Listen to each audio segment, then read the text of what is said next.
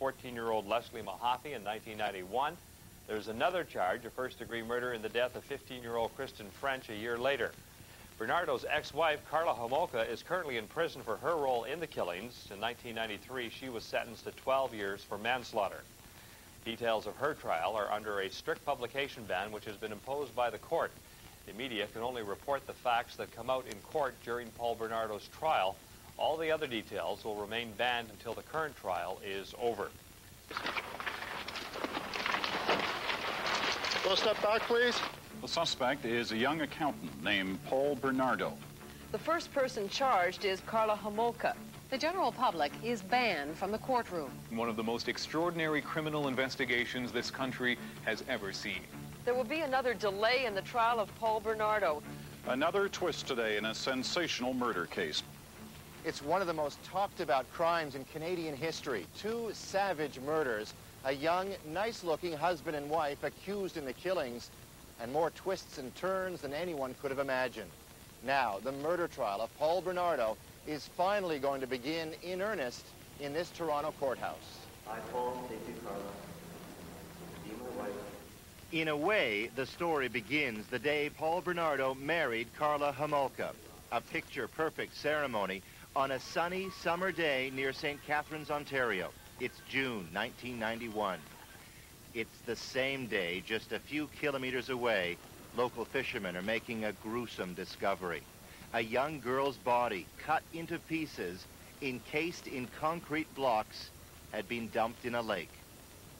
It was 14-year-old Leslie Mahaffy of Burlington, Ontario. She'd been missing for two weeks. The next spring, another girl, 15-year-old Kristen French, was abducted in broad daylight in St. Catharines. There was a massive search by the now frightened community. It's kind of scary it's kind of scary to think that you go out every night and somebody might be there and ready to grab you or something. I got three boys of my own home, and if something happened to them, I would hope I have this kind of turnout to look for them if something happens. So, my turn to do something. Kristen's family begged for her safe return. We love you, Kristen, and we are constantly in our thoughts and our prayers. Two weeks after she disappeared, her nude body was found in a dump her long brown hair cut short. Police said she'd been held captive and sexually assaulted. Two vicious, unsolved crimes in the same area. There was sheer terror. Reporter Nick Pron covers this story for the Toronto Star. Mahaffy disappeared about 2 in the morning in Burlington, so people were kind of thinking, well, she was out too late or whatever.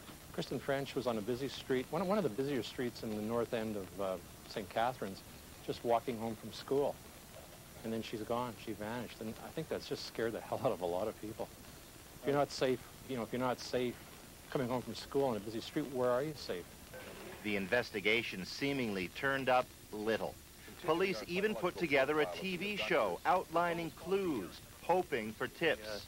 The dominant offender here in this case is a uh, truly a human predator. But there were no known suspects.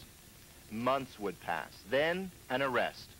Paul Bernardo, also known as Paul Jason Teal, has been charged with two counts of first-degree murder, two counts of unlawful confinement, two counts of kidnapping, two counts of aggravated sexual assault, and one count of causing an indignity to a human body.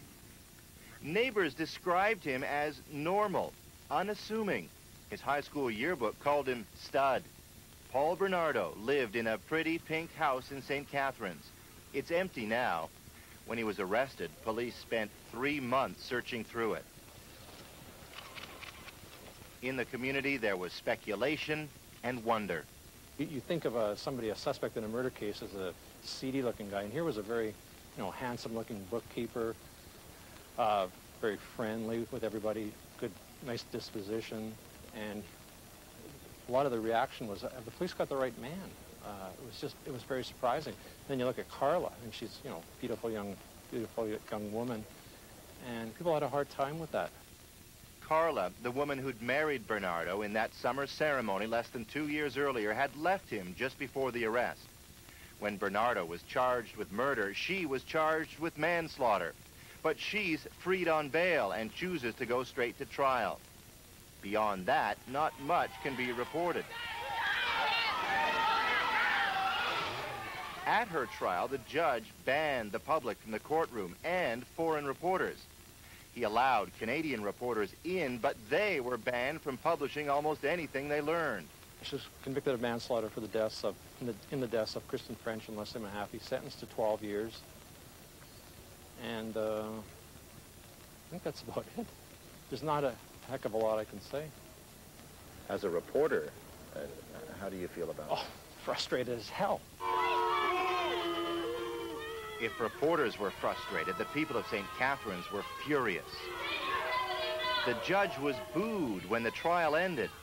Soon, rumors and graphic stories began spreading despite the ban. The Washington Post published its version of the trial.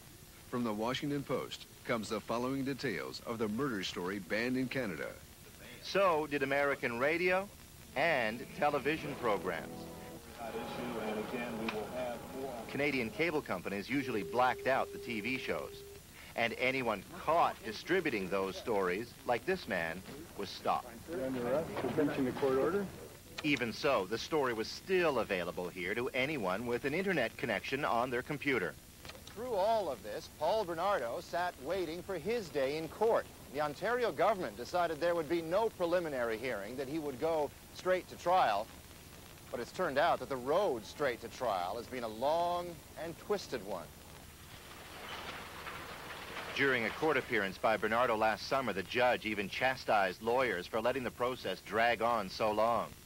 Then, a month after that, Bernardo's lawyer, Ken Murray, was removed from the case. Mr. Murray, will we find out today why you want off the case? The reasons cannot be reported, though it has to do with certain videotapes that came into his possession, and authorities were very interested in how he got them. The Ontario Provincial Police Criminal Investigation Branch, at the request of the Ministry of the Attorney General, is examining the circumstances that led to Mr. Ken Murray no longer representing Paul Bernardo. Bernardo's new lawyer, John Rosen, then demanded time to go through the file. More time the better, I don't know. Uh, I, I, really don't have a sense of it except that it's going to take uh, a long time. That was last fall. Since then, the media has fought and lost a battle to televise the trial. The question of whether those videotapes will be shown in open court is still undecided. Karla Homolka, meanwhile, spends her time at the prison for women in Kingston, Ontario, now two years into her 12-year sentence. She's expected to be a key witness against Bernardo. So what's finally clear is the whole story will come out soon in this courtroom. Jurors will now hear the case of Paul Bernardo and decide for themselves who did what in some of the grisliest crimes this country has ever seen. Paul Hunter, CBC News, Toronto. And as we said, uh, the prosecution opening arguments will take place in this murder trial uh, later today in Toronto. CBC uh, reporter Ron Ozawa is going to be covering this trial for us here on CBC News World, and we will uh, be hearing from Ron coming up at the top of uh, the hour in about five minutes from now. He'll be outside the courthouse in Toronto. He'll tell us what we can expect today and also tell us a little bit about the, the media interest in this trial. Lots of coverage over the next number of months. A lot of people saying this trial could run over the whole course of the summer and into the fall. And uh, it does start today with the prosecution's opening arguments, and we'll uh, bring you up to date on that at the top of the hour with Ron Ozawa live. And in Toronto today, the Crown's opening statement in one of the most sensational and controversial murder trials in Canadian history. The case involves Paul Bernardo. He is a former accountant who's accused of raping and murdering two teenage girls. He's pled not guilty to all the charges against him. They include kidnapping and the first-degree murder in the death of 14-year-old Leslie Mahaffy in 1991, and there's another charge of first-degree murder in the death of 15-year-old Kristen French a year later. Bernardo's ex-wife, uh, Karla Homolka, is currently in prison for her role in the killings. In 1993, she was sentenced to 12 years for manslaughter. Details of her trial are under strict publication ban imposed by the court. The media can only report the facts that came out in the court during Paul Bernardo's trial. The CBC's Ron Ozawa is standing outside the courtroom in Toronto. Ron, what kind of anticipation is there for today's opening statements? Henry, there's a lot of anticipation for today's opening statement by the Crown. Uh, it's been two years since Paul Bernardo was arrested. So a lot of people are anxious to hear some of the facts, and that's what we're expecting when the Crown gives his opening statements. Most people believe that this will be the uh, where the shroud of uh, court-imposed secrecy will be lifted. So this is where the Crown will state its, his theory, uh, the motives, and all the details of the case. So there's a great deal of anticipation here. It's 8 o'clock in Toronto, and all the media are here. I'm sure that some of the, the American organizations are here to, to watch this and witness this. And uh, already on the other side of the courthouse, uh, there are about two dozen people from the public trying to get into uh, today's proceedings. There are only 118 seats set aside for the public, and it's on a first-come, first-served basis. Already we're getting some movement behind us in front of the courthouse. You can see the Unimic uh, set out in front of the courthouse. That is where the lawyers will be coming in, and they, they can give statements if they choose. So there's a lot of activity here, a lot of anticipation for the opening statement by the Crown today. Opening statement's always important to any case because, of course, it is the Crown's position. That's right. The opening statement is a key uh, part of the Crown's case. This is where, like I said, he sets out his theories, he sets out his motives, and it's like a roadmap in which he shows the jury where he wants to go with this case. He shows exactly the details of the stops along that uh, journey, and uh, those stops are, of course, uh, evidence, facts, uh, witnesses, and their testimony. And in this particular case, because of the various bands involved, the opening statement becomes particularly important for the reporters at the trial. I think uh, for reporters and the public, this is going to be the uh, public's first real glimpse at the facts of this case. Uh, as, as, we mentioned that uh, uh, Bernardo was arrested uh, over two years ago, and there have been many, many publication bans. Uh, the opening statement by the Crown will be read in open court before a jury, so we as reporters can report all of that. So it'll be a lot of detail, and it'll be the first real glimpse uh, of the facts. And like I say, uh, it's the uh, the shroud of the court-imposed bans should be lifted uh, starting today. Ron, thank you very much. Ron Ozawa reporting live from a courtroom in Toronto, and we at News World will have frequent reports throughout the day on the developments in the Bernardo case anticipation for today's opening statement? Well, there's great anticipation. Sometimes one picture says a thousand words. You can see the courthouse behind me and the hordes of reporters standing in front uh, waiting to go into the courtroom in about 20 minutes. There's probably about 40, 45 reporters here trying to capture every move, and uh, when, people, when key players come to the courthouse, they try to capture them as well. Just a few minutes ago, defense counsel John Rosen entered the courthouse, and I think we have some pictures to show you how the swarm of media follows uh, certain key members. John Rosen walked in the courtroom. There is a unimic set up out front, but he refused to stop and give a comment. He said very little today on his way into the courtroom. Uh, as you know, today is the, uh, the Crown's uh, uh turn to give the opening statement in which he will outline his case. It's very much a, a roadmap for the jury in which uh, he will point out a clear destination that he hopes to take the case. He'll detail every stop along the way, and those uh, stops will be evidence, facts, and witnesses. So It'll be a very interesting day of opening statement. As you know, the opening statement will be done in open court before a jury. So this is the real glimpse, first real glimpse uh, for reporters and the public to see just the real facts of the case. So there's a lot of anticipation. On the other side of the courtroom, uh, there was a lineup uh, of people from the public trying to get in. There were probably about 50, 60 just about a half an hour ago. Uh, I talked to some of them. Uh, some are uh, students who are studying law. I actually talked to one woman who it's uh, there, it's uh, her day off, she's not interested in the law, but it's such a sensational case that she said uh, she wanted to be here. So there's all kinds of interest. I'm sure it'll be a packed courtroom today, Joanne. Indeed, uh, and so we begin. Ron, we'll end it there. Talk to you next hour. Thanks very much. Of secrecy and delay, rumor and speculation, one of the most controversial trials in Canadian history is finally underway. In Toronto this morning, a Crown attorney is presenting the opening statement in the trial of Paul Bernardo. He is the former accountant who is accused of raping and killing two teenaged girls. He's charged with kidnapping and first-degree murder in the death of 14-year-old Leslie Mahaffy in 1991.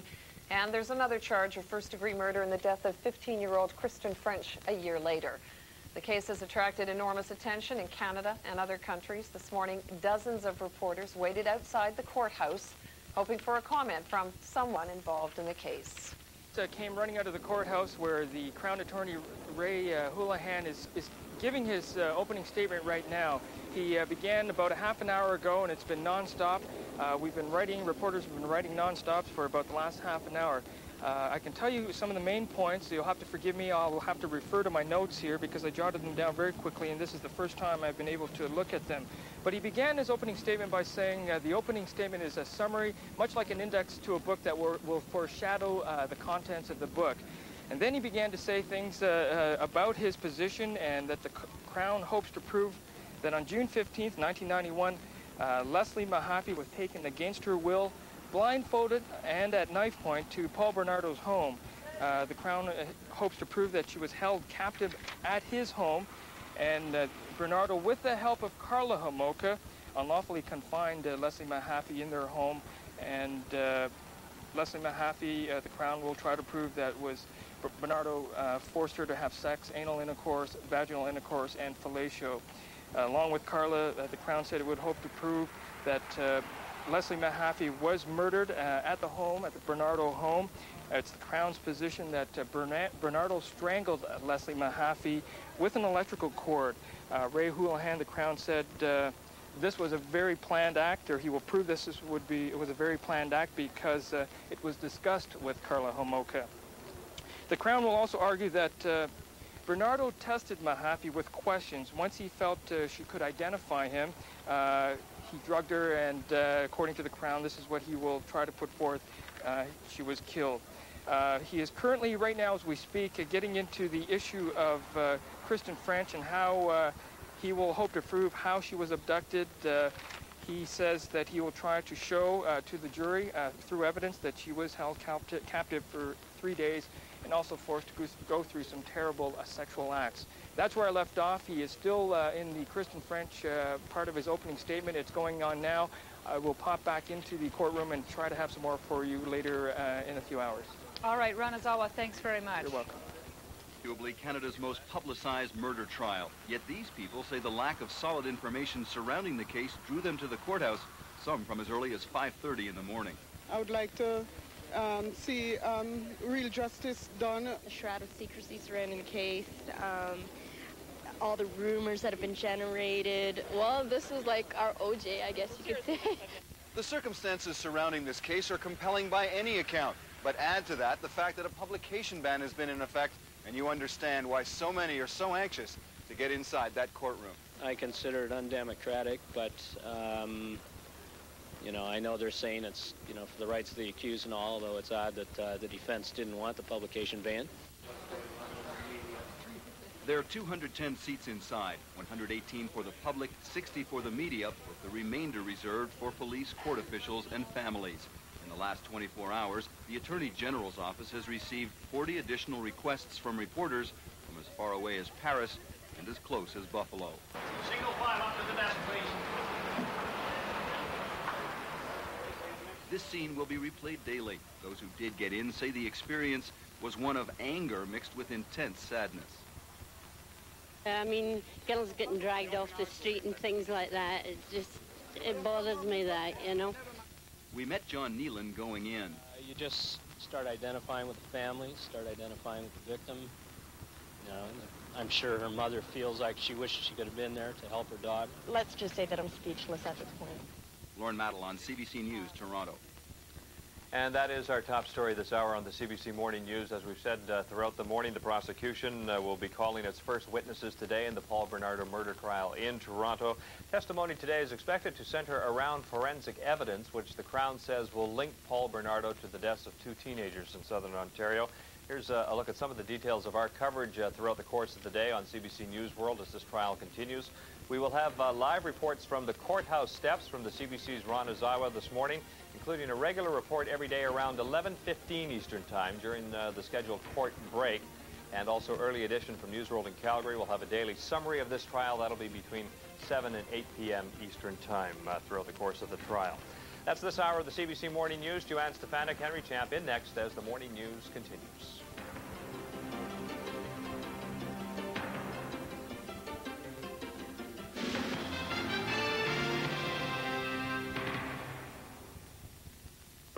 Public is finally hearing the details of one of the most sensational murder cases in Canadian history. Today, the prosecution began its opening statement in the Paul Bernardo trial in Toronto. Until now, a publication ban prevented the media from saying much, but now the story is coming out. Prosecutors say Bernardo kidnapped, beat, sexually assaulted, and deliberately killed two teenage girls. Paul Hunter has the story, but first, a caution. Some of what he has to report may be disturbing. Man who would tell a tale of horror to a packed courtroom, Crown Prosecutor Ray Houlahan arrived early. On stage all day, The Crown, outlining a story few Canadians know or could even imagine. It was to the jury Ray Houlahan told the story that's expected to come from Karla Homolka, Bernardo's ex-wife, seen here on the right in jail, serving a 12-year sentence in the same killings Bernardo's charged in. Houlahan told the jury Homolka will detail a horribly abusive relationship with Bernardo, beatings to the point she became completely subservient to him. So subservient, Homolka agreed to help Bernardo drug and rape Karla's sister Tammy. Houlahan said evidence will show Bernardo sodomized her and made Karla perform oral sex on her unconscious sister. All videotaped by the couple. Evidence will show, says Houlahan, Bernardo thought Tammy would be a great Christmas present for him. Tammy Homolka started vomiting and died. It was Christmas Eve, 1990. The next year, Houlahan says evidence will show Bernardo grabbed Leslie Mahaffy from her own backyard in Burlington, Ontario, late one night. At knife point, he brought her to the Bernardo home in St. Catharines, and with Karla videotaping, repeatedly raped and beat a crying, blindfolded Mahaffy, then forced Karla to smile and perform oral sex on her. The Crown says evidence will show Bernardo feared Mahaffy would identify him, so he decided to kill her, strangling her with an electrical cord. While Bernardo and Homolka talked about what to do with the body, Mahaffy gasped for air. Bernardo strangled her again for seven minutes. The next year, 1992, Houlahan says Homolka will testify they both abducted another girl, Kristen French, in broad daylight from a church parking lot. Back at their house, sodomy, beatings, repeated rape, all on videotape shot by Bernardo and Homolka. Houlahan says the evidence will show that within a day or so, Bernardo used the same electrical cord that killed Mahaffy to kill French. Paul Hunter, CBC News, Toronto. Zawa. Good morning, Ron. Good morning, Joanne. What were the key elements of the Crown's opening statements? There were many uh, key elements yesterday. It was an extraordinary day, uh, much because of the information and the disturbing nature of that information. But there were a lot of key questions, I guess, uh, leading up to yesterday. Let me wait for this uh, transport to pass. And uh, some of the key questions were this, and we, we got some answers according to the Crown in his outline or his summary of what he hopes to prove. For example, we know that uh, Karla Homolka was involved in the death of her sister Tammy, as Paul pointed out. Homolka will testify against her ex-husband Paul Bernardo, and the jury will see videotapes that contain disturbing pictures of both victims, uh, videos in which both uh, Bernardo and Karla Homolka were participants. We also learned that the videotapes retrieved by Bernardo's former lawyer, Ken Murray, were in his possession for some 15 months. And uh, so those were some of the questions that people had before yesterday, and we were able to sort of get some light to shine on those issues. All right, Ron, what's ahead today?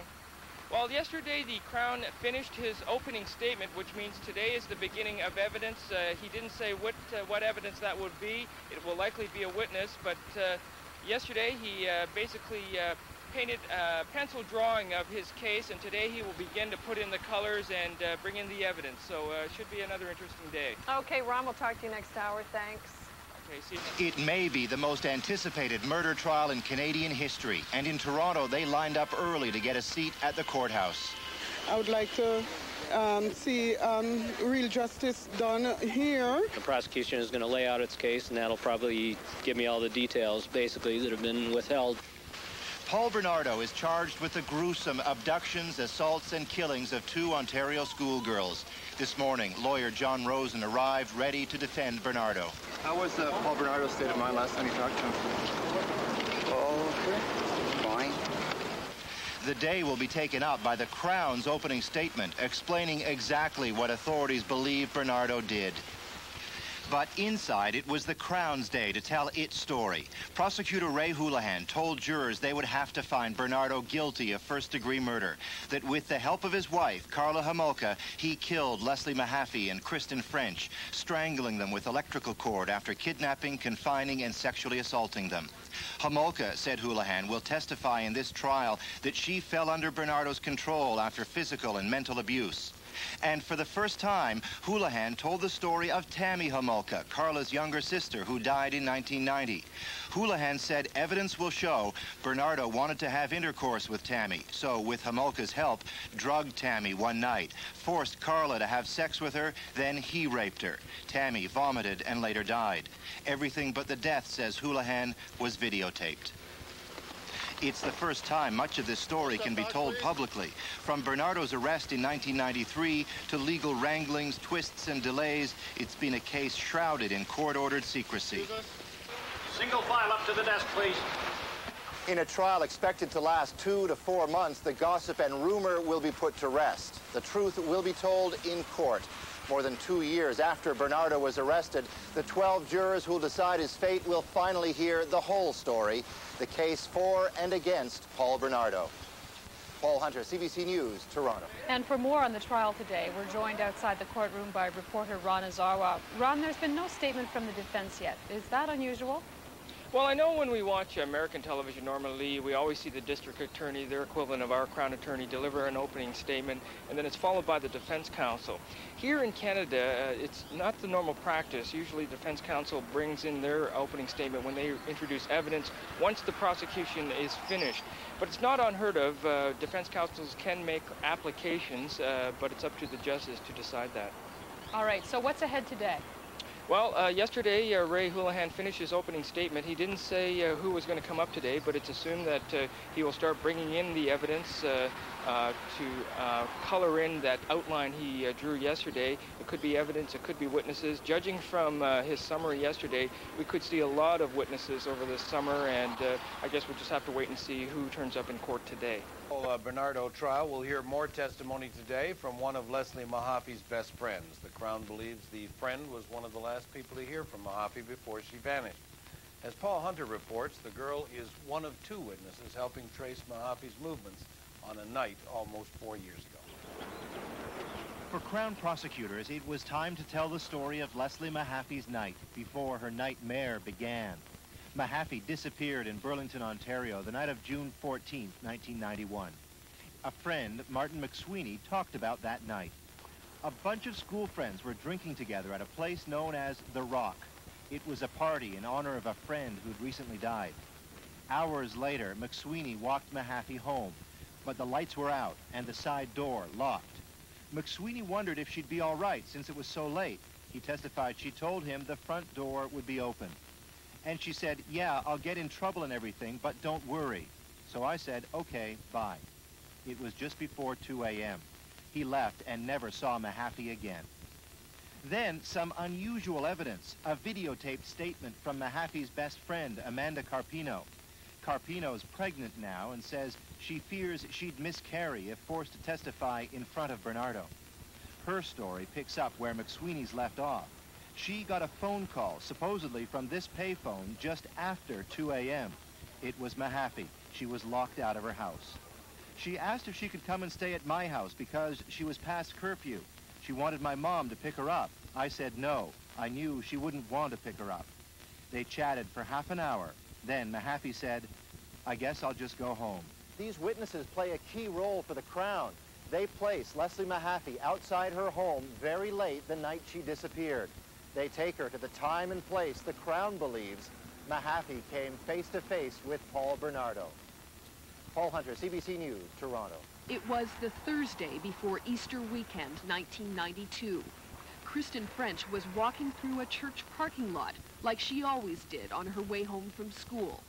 That day, she never made it home. Police believed she'd been forced into a cream-colored Camaro. They spent weeks searching and tagging Camaros. Today, the woman who gave that description. Barbara Packham said she only got a glimpse, a couple of seconds as she was driving by the church parking lot. Packham saw a tall, slim-looking person in long pants leaning into an open passenger door. She said it looked like a struggle. The person was backing up and moving ahead. The thing that crossed my mind, she said, was teenagers fooling around. Packham told police the car was cream-colored. I'm not very good at describing cars, she testified. It was a sporty type that sloped at the front, similar to a Camaro. When shown a photograph of Bernardo's gold Nissan, Packham couldn't say whether that was the car she had seen.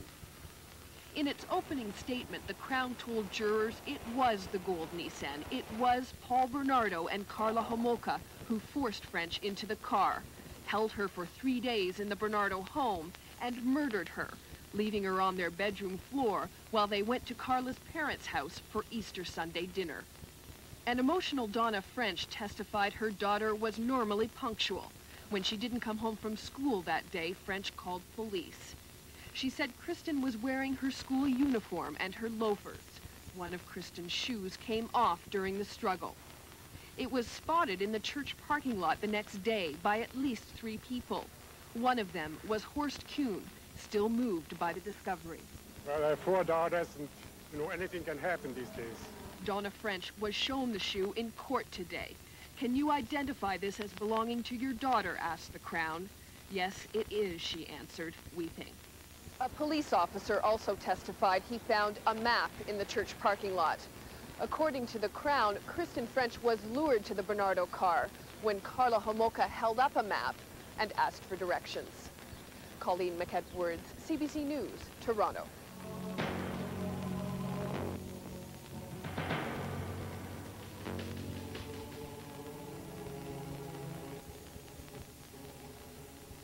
She called her daughter a social butterfly, a girl with lots of friends.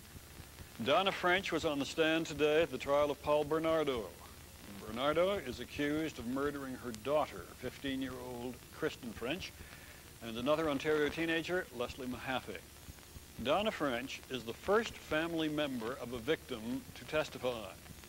Joining us from outside the courthouse in Toronto, the CBC's Colleen McEdwards and Anne-Marie Owens of The Standard, a St. Catharines newspaper. Kristen French's mother took the stand today, Colleen. What did she have to say? Well, Donna French described who her daughter was and the last time she saw her daughter. She described how she drove her to school that morning of April 16th, what she was wearing. She described her daughter as a social butterfly, someone whose social life meant a great deal to her. She was always punctual, which is how her mother knew she was in trouble when she didn't return home from school that day. Described her as, a, as an athlete, a skater who skated five days a week and who had also been on a rowing team until she had to quit because of a back problem. Here's a woman talking about the last time she saw her daughter alive, Anne-Marie. Did Mrs. French seem composed, seem in control? Mm-hmm. She, she seemed to struggle to, um, to maintain her composure when she was on the stand. It was obviously very hard for her. Um, through it all, she, she sort of kept her composure until the very end when the, uh, the Crown showed her, asked her to identify a shoe that had belonged to her daughter and uh, had been left at the scene and was recovered by police. And that's sort of when the emotion, that was the final question that she had to answer, and that was sort of when the emotion was almost too much for her. Colleen, who followed Mrs. French on the stand? Well, there were a series of witnesses that followed, people again describing what they saw Kristen French doing. Some friends of hers from school who saw her walking home from school uh, alone that day as she always did. It was just a short walk. A friend who described what she was wearing, who described what she was like. And also a woman who apparently saw a struggle in the church parking lot that day. Did she give any details, Colleen, of that struggle that she saw? She did. She said that she only saw it for a moment. She was driving by, saw for a couple of seconds what she thought looked like a person bent over, leaning in the passenger side of a car. She thought it looked like a struggle because the person was sort of moving back and forth. She went by it, didn't really think anything of it until the next day when she heard about Kristen French's disappearance and then called police. Because of, sorry, because at the time she had, she said that she had seen students on the street, and when she saw the struggle, I guess she sort of just thought kids, teenagers, she said teenagers sort of uh, playing Forcing around. around, yeah. So that's why she didn't give it any significance at the time, she said on the stand. Colleen, there was also the subject of Tammy Homolka's death in court today. What was that all about? That came up quite unexpectedly, Norm. One of the uh, police officers who had been involved in, in the search for Kristen French also happened to be an officer who was called to the Homolka home the night of Christmas Eve 1990 when Tammy Homolka died. And he actually, this officer actually took a statement from uh, Karla Homolka and Paul Bernardo, who were engaged at the time. In fact, I have a copy of the statement with me. It's written in uh, Paul Bernardo's handwriting, and this was described today. Uh, Paul Bernardo uh, talks about what they were doing that evening, how they had sat down to watch a movie, were having a few drinks. He claims that he fell asleep on the couch and was awakened by the sound of Tammy uh, vomiting, being sick, gasping for air, that he tried to revive her doing CPR while Karla Homolka called 911. Of course, the Crown contends that um, Tammy Homolka was assaulted that night by both Paul Bernardo and Karla Homolka. Yeah. Anne Marie, uh, we've talked about Paul Bernardo watching all this. What were your impressions of him today in the court? He's, uh, as he has been through much of this, he's very involved in his case. He's uh, throughout a lot of what was said today, he would be uh, writing notes, copious notes in this notebook that he has with him in the uh, in the box and handing them over to uh, to his lawyers throughout it all. He certainly seems very very interested in everything that goes on. Very composed as well, though. Yeah. Very serious, always looking Right. straight ahead, often at the jury.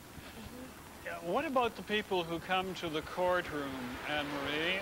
Is it is Mhm. it full? Uh, is it packed uh, these days, or are people leaving the afternoon?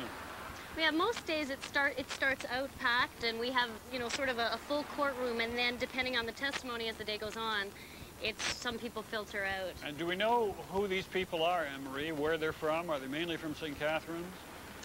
I would say most of the people are, are actually from Toronto. They're people from around here who are interested in the case, following the case. Um, there aren't that many people from St. Catharines. People from St. Catharines who are coming, uh, the Frenches sort of have a support network, but I think they're sort of um, waiting for them to call on them for the time they'll really need them. And uh, even though today's testimony was difficult, it's not as difficult as probably what will lie ahead for them. And Colleen, when Mrs. French was testifying, where was Mr. French? He was sitting in the front row, the right-hand side of the courtroom. The front two rows had been reserved for the victims and their families, and he was sitting there looking at his wife. Uh, when she finished her testimony, she came down and stood beside him. They're a very, they appear to be a very loving couple. He took her hand, he put his arm around her and sort of patted her on the side, and, and they seemed very much to be supporting each other through this awful time. Do we know who the next witnesses are going to be, Anne Marie? Uh, next, I think we'll have some witnesses who will be uh, completing. What we're looking at now is we're, we're completing, I guess, the, the final uh, final activities of, of Kristen French and then moving on to the discovery of her body two weeks later. And uh, I think that's sort of where we'll be moving tomorrow. We may hear a little more from some of the people right. who were up at the very end today. The police officer I mentioned who talked about uh, Tammy Tammy. Homolka. Because that came up as a surprise, the defense has said, well, we would like to reserve the right to cross-examine this So that'll probably be first off tomorrow. Anne Marie, Colleen, thank you both for talking with us. You're welcome. You're welcome.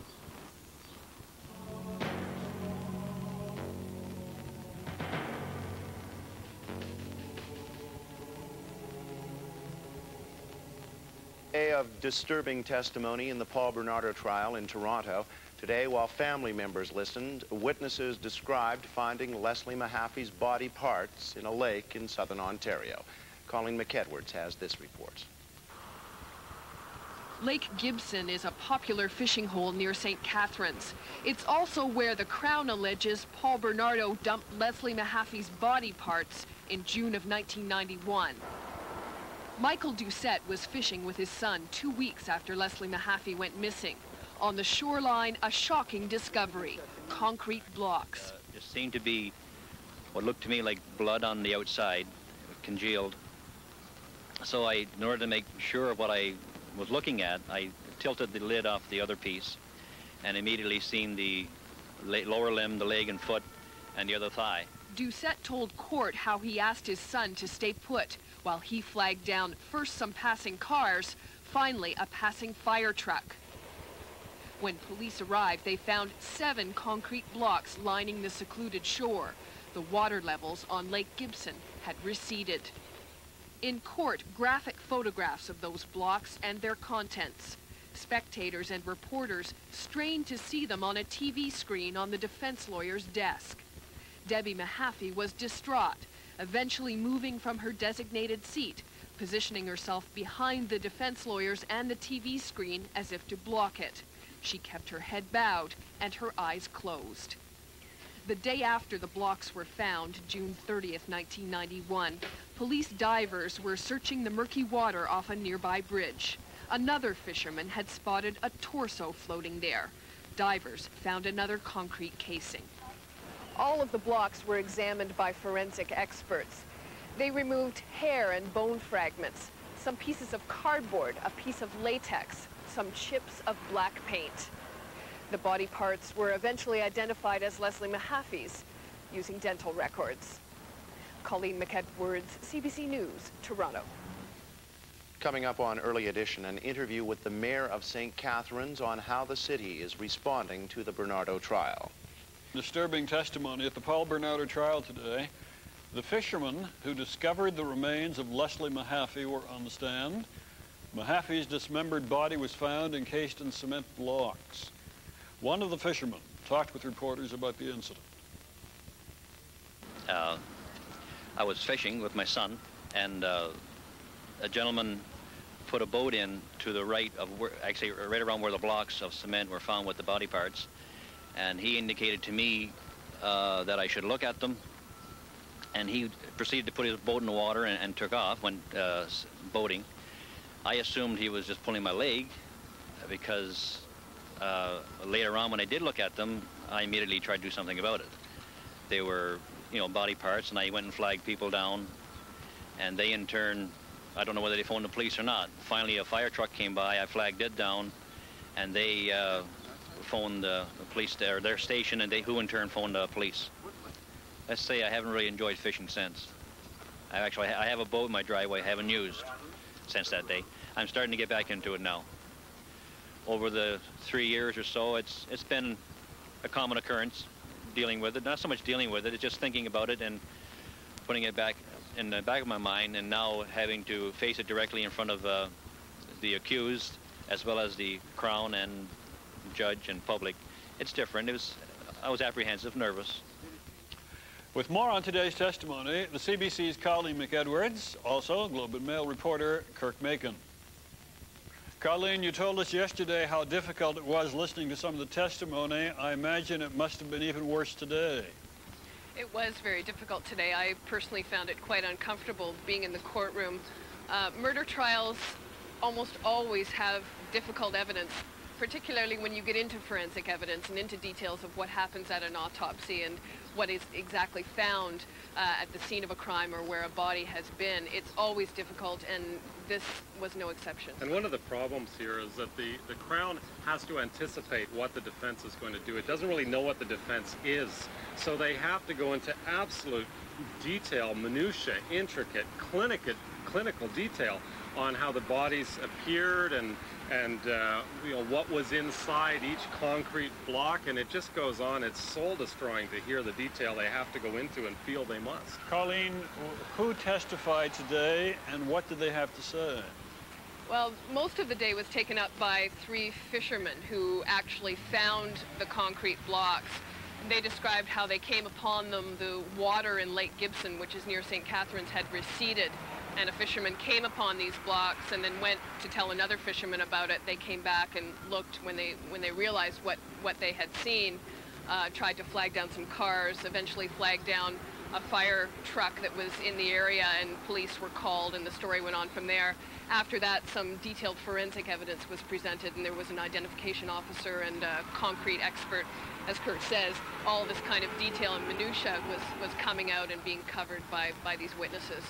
Kirk, did the witnesses say they recognized the body parts in the concrete blocks when they saw them? They knew what it was they were looking at? They knew that they were looking at a female. Um, it certainly took the it took some time before the police were able to identify who the actual victim was. They had to use dental records as their primary uh, uh, purpose but uh, yes, they, they knew they were dealing with a body and they knew they were dealing with a female, but beyond that, there was a fair amount of decomposition. Now, Colleen, I know that uh, Leslie Mahaffy's parents were in the courtroom today. Did they see all of this? They did. Now, this is the kind of evidence that they would be familiar with, having lived this for the past four years. Um, some of the photographs were put up on a, on a video monitor. The courtroom here is quite well equipped with all the modern gadgets you would want to have. They weren't uh, displayed on video monitors that clearly face the spectators in the courtroom, but you could see these images on a video monitor that was sitting on the, um, on the desk of, of the defense attorneys. At one point, the Mahaffys actually moved over, went, moved from their designated seats over so that they could sit right behind that monitor. I felt it was as if they wanted to, to block it because they really didn't look at the screen. In fact, yeah. Debbie Mahaffy kept her eyes down and uh, as far as I could tell, did not look up once at, at what was being shown there. Yeah. And Kirk, did the judge have anything to say about what was being seen and who would be allowed to see it? Well, he ruled, he made a specific ruling that the public screen would not be on. It would be turned off. But when the Crown asked also to have the defense monitor turned off because it is the only other one that's visible at all to the public, he declined to do that. In the judge's opinion, it's traditional not to have uh, the public and media see autopsy pictures, but they are available later on if they want to see them. So this was in keeping with that kind of tradition. And we should make that clear that once something is entered into evidence in any courtroom, that becomes accessible to the public, and a member from the public can go to the court clerk and say, I would like to see the evidence that is presented in this case in the exhibits, and, and can see that. And Kirk was Bernardo watching all of this as well? He watched all of this intently. He has watched every element of this trial so far very intently, seriously, uh, but nonetheless, he, he isn't missing anything. And, and once again, I mean, you couldn't discern any real emotion he, except that he is very much involved in every process of the trial. That's the best I can put it. And Colleen, could you make anything out at all on the faces of the jurors who were watching this? They looked quite composed to me, Norm. I, I felt that eh, at some point people had an uncomfortable look about them, but this seems to be a very attentive, very interested jury, and, and they seemed quite quite composed today, they in my seem opinion. to have really psyched themselves up for what yeah. the ordeal they're going through here, because they often look to be the most composed people in the courtroom. Um, so they just must have prepared themselves over the long weekend for what they knew was coming. Very briefly, Colleen, earlier in the day there was more uh, video evidence from Leslie Mahaffy's friend. What was that about? She basically just wrapped up uh, the, the, remaining details. She again went over um, the problems that Leslie was apparently having that night, how she got the phone call at 2 in the morning, and how it appeared that Leslie was afraid to wake up her parents, that she felt that they were asleep and didn't want to ring the doorbell you remember from what we talked about yesterday, she had been out that night with a group of friends who were mourning the death of one of their classmates who had died in a car accident. And uh, her friend said on video today that Leslie was afraid that if she got home late, woke up her parents, missed her curfew, that she wouldn't be allowed to go to the funeral, which was the next day. What happens tomorrow, Kirk? Well, I suspect we're going to see a number more of these uh, witnesses involving the finding of the body, and, and we may well be seeing uh, uh, Kristen French's mother as well. Uh, it, it's questionable now whether Debbie Mahaffy, uh, um, uh, the young girl's mother, is going to testify, but we think that, uh, that Kristen French's mother will. Yeah, my understanding is that Mrs. Mahaffy will not be testifying and that the Crown indicated late today that they would be making a turn now and getting into some of the evidence around Kristen French. So I think we can expect that that will start happening tomorrow. Colleen, Kirk, thank you both for talking with us. You're welcome. The Paul Bernardo trial is making headlines across the country, but nowhere is the trial being watched more closely than in St. Catharines. The southern Ontario city is home to 130,000 people. It's where Paul Bernardo lived. It's where Kristen French lived. Leslie Mahaffy came from nearby Burlington. The murders set off a wave of fear in the community, a fear that still lingers today. The mayor of St. Catharines is Al Unwin. Mayor Unwin, is this trial something the city of St. Catharines sees with relief, or is this a trial that most people in your city are dreading? Well, a little bit of both, Norm. Uh, we're, uh, we're dreading uh, the fact that uh, a lot of the things that uh, our worst nightmares may become realities, Norm. That's what we're dreading. Uh, however, we're, we're glad to see things underway after two years of, of uncertainty and two years of anxiety in this city. It's, it's, finally coming to some sort of conclusion, Norm. When you say your worst nightmare is becoming reality, what do you mean? Well, all through the, uh, the speculation of what did occur and what may have occurred, if the opening statements that have been made by the Crown, if indeed even half of that is true and can be substantiated, all the horrors, all the worst nightmares that we've had as a city, each and every one of us uh, uh, could become uh, reality, and, and uh, we'll have to deal with that at that time. What impact has this ordeal had on your city, Mayor Unwin? Well, it's had a, a mixed bag of, of uh, things, Norm. Uh, it, it's certainly uh, made us very, very uh, uh, frightened of what can happen in a city that uh, is not used to seeing such violent acts. it's brought us closer together as a, as a city, united on, on the fact that this, this has happened.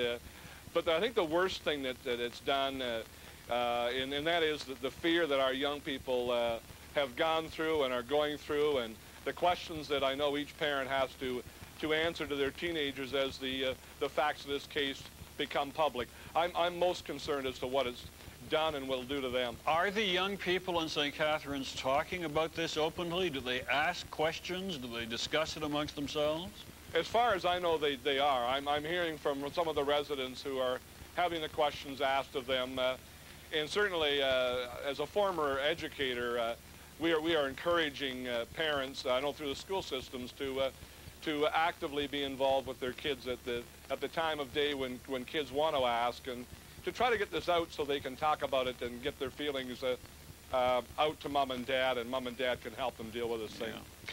Are you comfortable with the fact that the trial is not being held in St. Catharines, Mayor? Absolutely. I, I think it would be devastating. We've had enough. Uh, we have had enough tragedy uh, with the whole uh, situation. And we wish it would go away. It won't. But the fact that it's being held outside uh, our city is at least some comfort to know that uh, we can at least read about it or, or, listen to it or watch it on TV, but we don't have to see it uh, enacted every day, every day, every day, Norm. Has there been a change in St. Catharines, the mood, the feeling of the city, the fears of the city? Since the trial started? In other words, has the trial made a significant difference?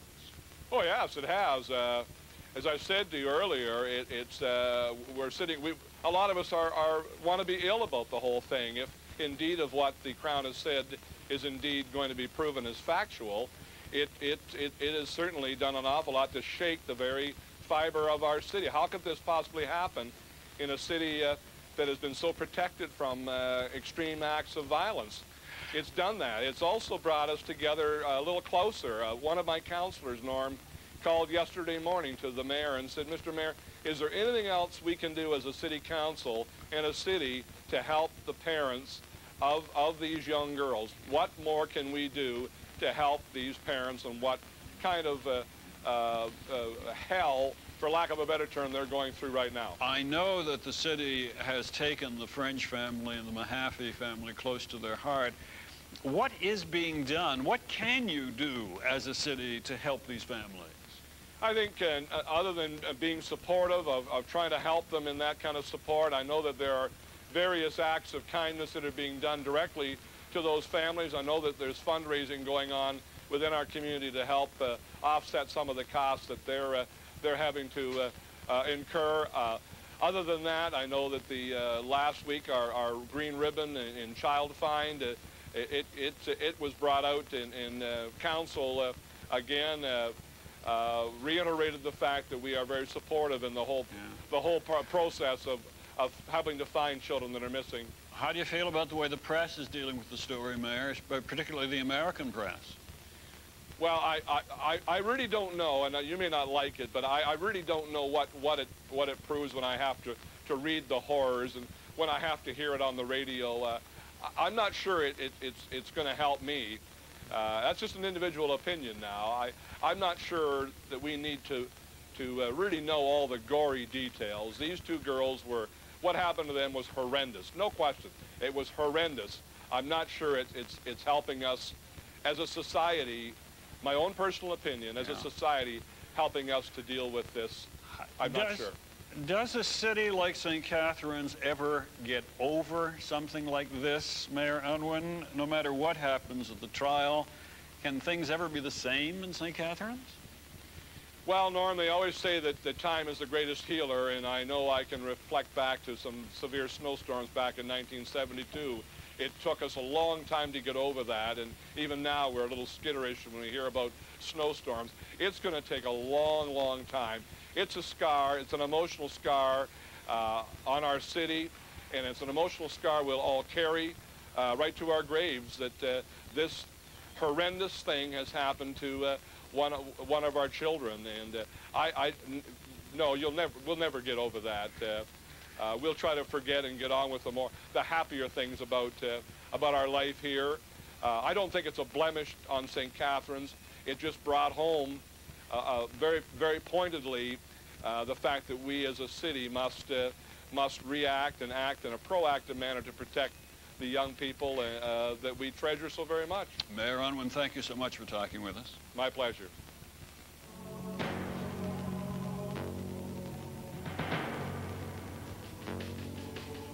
Constable David Weeks was a new cop, barely had his feet wet when he was called to the Homolka home Christmas Eve 1990. Tammy Homolka had stopped breathing, apparently after choking on her own vomit. A statement given by Paul Bernardo that night said he and his fiancée, Karla, had been sleeping on the couch when they awoke to the sound of Tammy's gasps. Weeks testified he saw Tammy lying on a bedroom floor. Paramedics had already arrived and were trying to revive her. She had red marks on her face. Her skin looked gray. Weeks stayed at the Homolka home with Paul, Karla, and her older sister, Lori. When word came from the hospital Tammy was dead, Weeks said Lori and Karla began to cry quite softly. Paul began to cry vigorously. He pulled his knees up to his chest and started to rock back and forth. He pulled his hair while shouting no. Lori rushed out of the room. Weeks followed. When he returned to the basement, he heard the sound of a washing machine. He found Karla trying to wash a vomit-soaked blanket. Something else caught Weeks' attention. When he began to question Paul, he suddenly offered this. Officer, there were absolutely no drugs involved. Weeks testified he had never asked about drugs. Constable Ken Mitchell took over from there. He interviewed Paul and Karla later at the police station. The 25-year veteran thought the marks on Tammy's face were caused by vomit, but wanted to wait for the post-mortem results to be sure. Under cross-examination today, Mitchell admitted police allowed items gathered from the Homolka home to be destroyed two months before he received the final post-mortem report. In the end, Tammy's death was ruled accidental. Colleen McEdwards, CBC News, Toronto. 1992, the nude, beaten body of a young girl was found near the woods in Burlington, Ontario. It was the body of Kristen French. Today, her parents heard details about the discovery of their slain daughter. Those details came at the trial of Paul Bernardo. Bernardo was charged with the abduction and murders of 15-year-old Kristen French and 14-year-old Leslie Mahaffy. Witnesses today described how they found and identified French. One of those people, Roger Boyer, told reporters he was shaken by the experience. Put it this way, it wasn't a good feeling. Like uh, my stomach, uh, I felt sick. Even when I got to the young guy's house and that, I was all white and pale. And uh, his mother come in and uh, she says, "Gee, you look awful. What's the matter?" I said, "I just found the body up by your, up the road, a little ways from your house." And uh, she asked me if I wanted something to drink and that because I was really white. She thought I was going to pass out. So I felt really sick. Just, I've never found the body in my life. It's the first time. Oh yeah, especially with bringing it up today and seeing photos. It's, uh, it, it gives butterflies in your stomach, tightens right up. With more on today's testimony, the CBC's Colleen McEdwards and Alan Cairns of the Toronto Sun. Colleen, how did Roger Boyer describe finding Kristen French's body? He said that he was driving along looking for scrap metal, the kind of thing he used to do, looking for metal that he could salvage for a little bit of money. He drove by a wooded area and saw what he thought looked like a conveyor belt, so he got out of his car and walked into the bush to have a look at it. Then he saw what he thought was a piece of pink carpet. And when he approached it, he quickly realized that that was not it at all and that it was a human body at which point he went to a nearby home and called police. Uh, and I, I, gather, Alan, from what he said just a short time ago, he still can't get that out of his mind at all. No, Roger is uh, quite traumatized, obviously, by his find. He's uh, a rather simple living man, uh, lived his life uh, very much in a, blue-collar way, Uh, his, uh, his likes are essentially bingo and beer, and he, he hasn't been able to put this out of his mind. He has a young daughter much the same age, and it, it has traumatized him very much. And Colleen, Constable Leonard Shaw testified as well. What did he have to tell the court? Well, he talked about the condition of the body. It was difficult testimony, as this kind of testimony always is. He says that he noticed dark marks on Kristen French's back, uh, what he thought looked like bruising on her face, and a photograph of the body clearly showed a dark black line across Kristen French's throat. And Alan, did cross-examination go after that description in any way as well? A cross-examination of Shaw was uh, essentially very brief. What did they have to ask him? Well, it was uh, essentially John Rosen is trying to elicit from police officers at the scene um, essentially how how it would uh, be for people to get to the scene. It's a very easy route. Uh, Guelph Line is right off the Queen Elizabeth Way, and uh, if you continue north on Guelph Line, the first secluded road you would come to is in fact number one side road.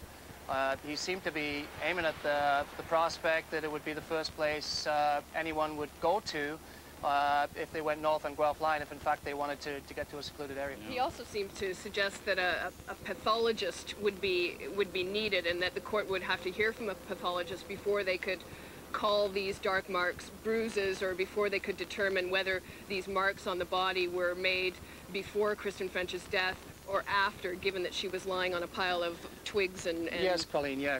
Kristen French's body was found uh, lying on a, a pile of what appeared to be branches and debris, and it was uh, sparsely covered with uh, dead undergrowth. undergrowth. Um, a lot of the lines on the on the faces that the on the pictures that I saw during the break uh, were in fact caused by the twigs and brushes. These were indentation marks. Colleen, so, sorry, Colleen, we've been talking all week uh, about the graphic pictures and the video and the effect they've had on that courtroom, particularly, of course, on the families of uh, Leslie Mahaffy and Kristen French. What was the impact of today's pictures?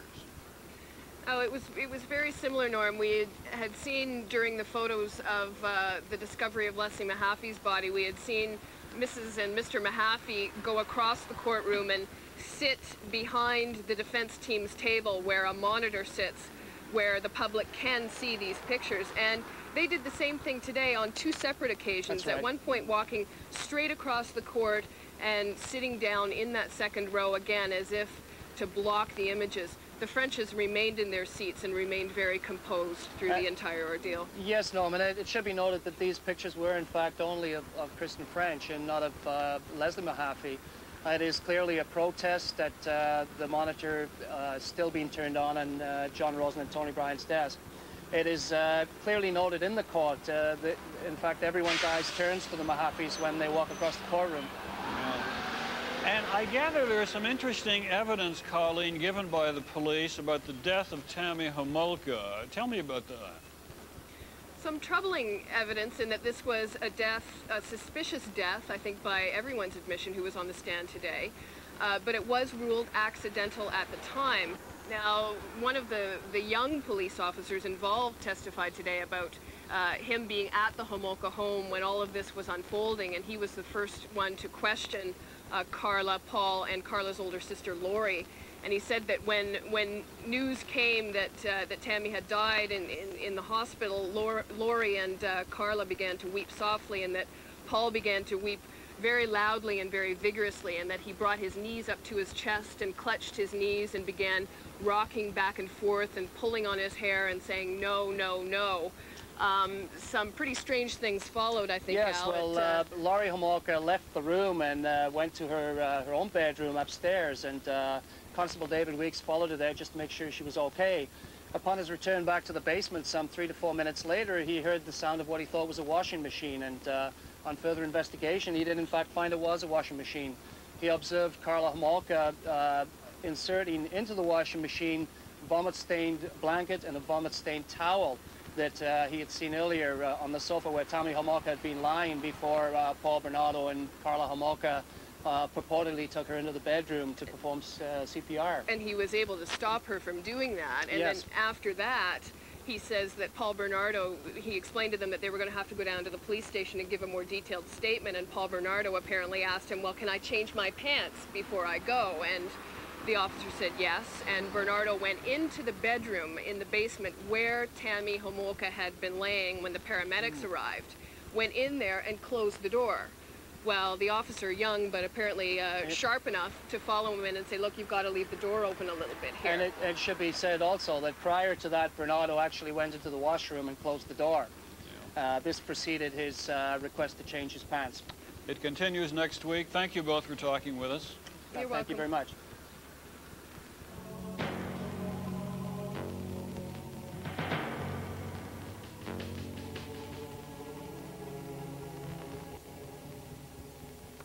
And that's all our time for this week. I'm Norm Perry. Early edition returns Monday, 7 o'clock Eastern, 4 on the West Coast. We leave you now with the recap of the week's top news stories. Families want only the judge, lawyers, and the jury to see them. But Bernardo's lawyers and the media fought back. They argued in a free and open court system, evidence against the accused, no matter what it is, must be made public. That someone other than those assessing Bernardo's guilt must see the tapes played in court. The judge reserved his decision. Then, when the jury was being selected, the judge asked all prospective jurors, are they physically and emotionally able to sit through the trial during which you will be asked to look at explicit videotapes many will find disturbing? When the trial began, the Crown described in its opening statement how disturbing that might be, telling jurors the videos will show Bernardo raping the victims and beating them, and they show his wife, Karla Homolka, participating that both victims are seen in pain, their hands and ankles bound. Given that, the family's lawyers said maybe the media would back off on its fight to see the tapes. There's a big difference between informing the public and, uh, and, and, and getting into uh, matters that uh, just aren't necessary. So the question is whether it is necessary that the public see all the evidence against Paul Bernardo, or whether it's more necessary to protect the memory of the victims and their families from further trauma. It's a question Justice Patrick Lesage will have to answer, and that answer could come as soon as this week. Paul Hunter, CBC News, Toronto. Well, they all...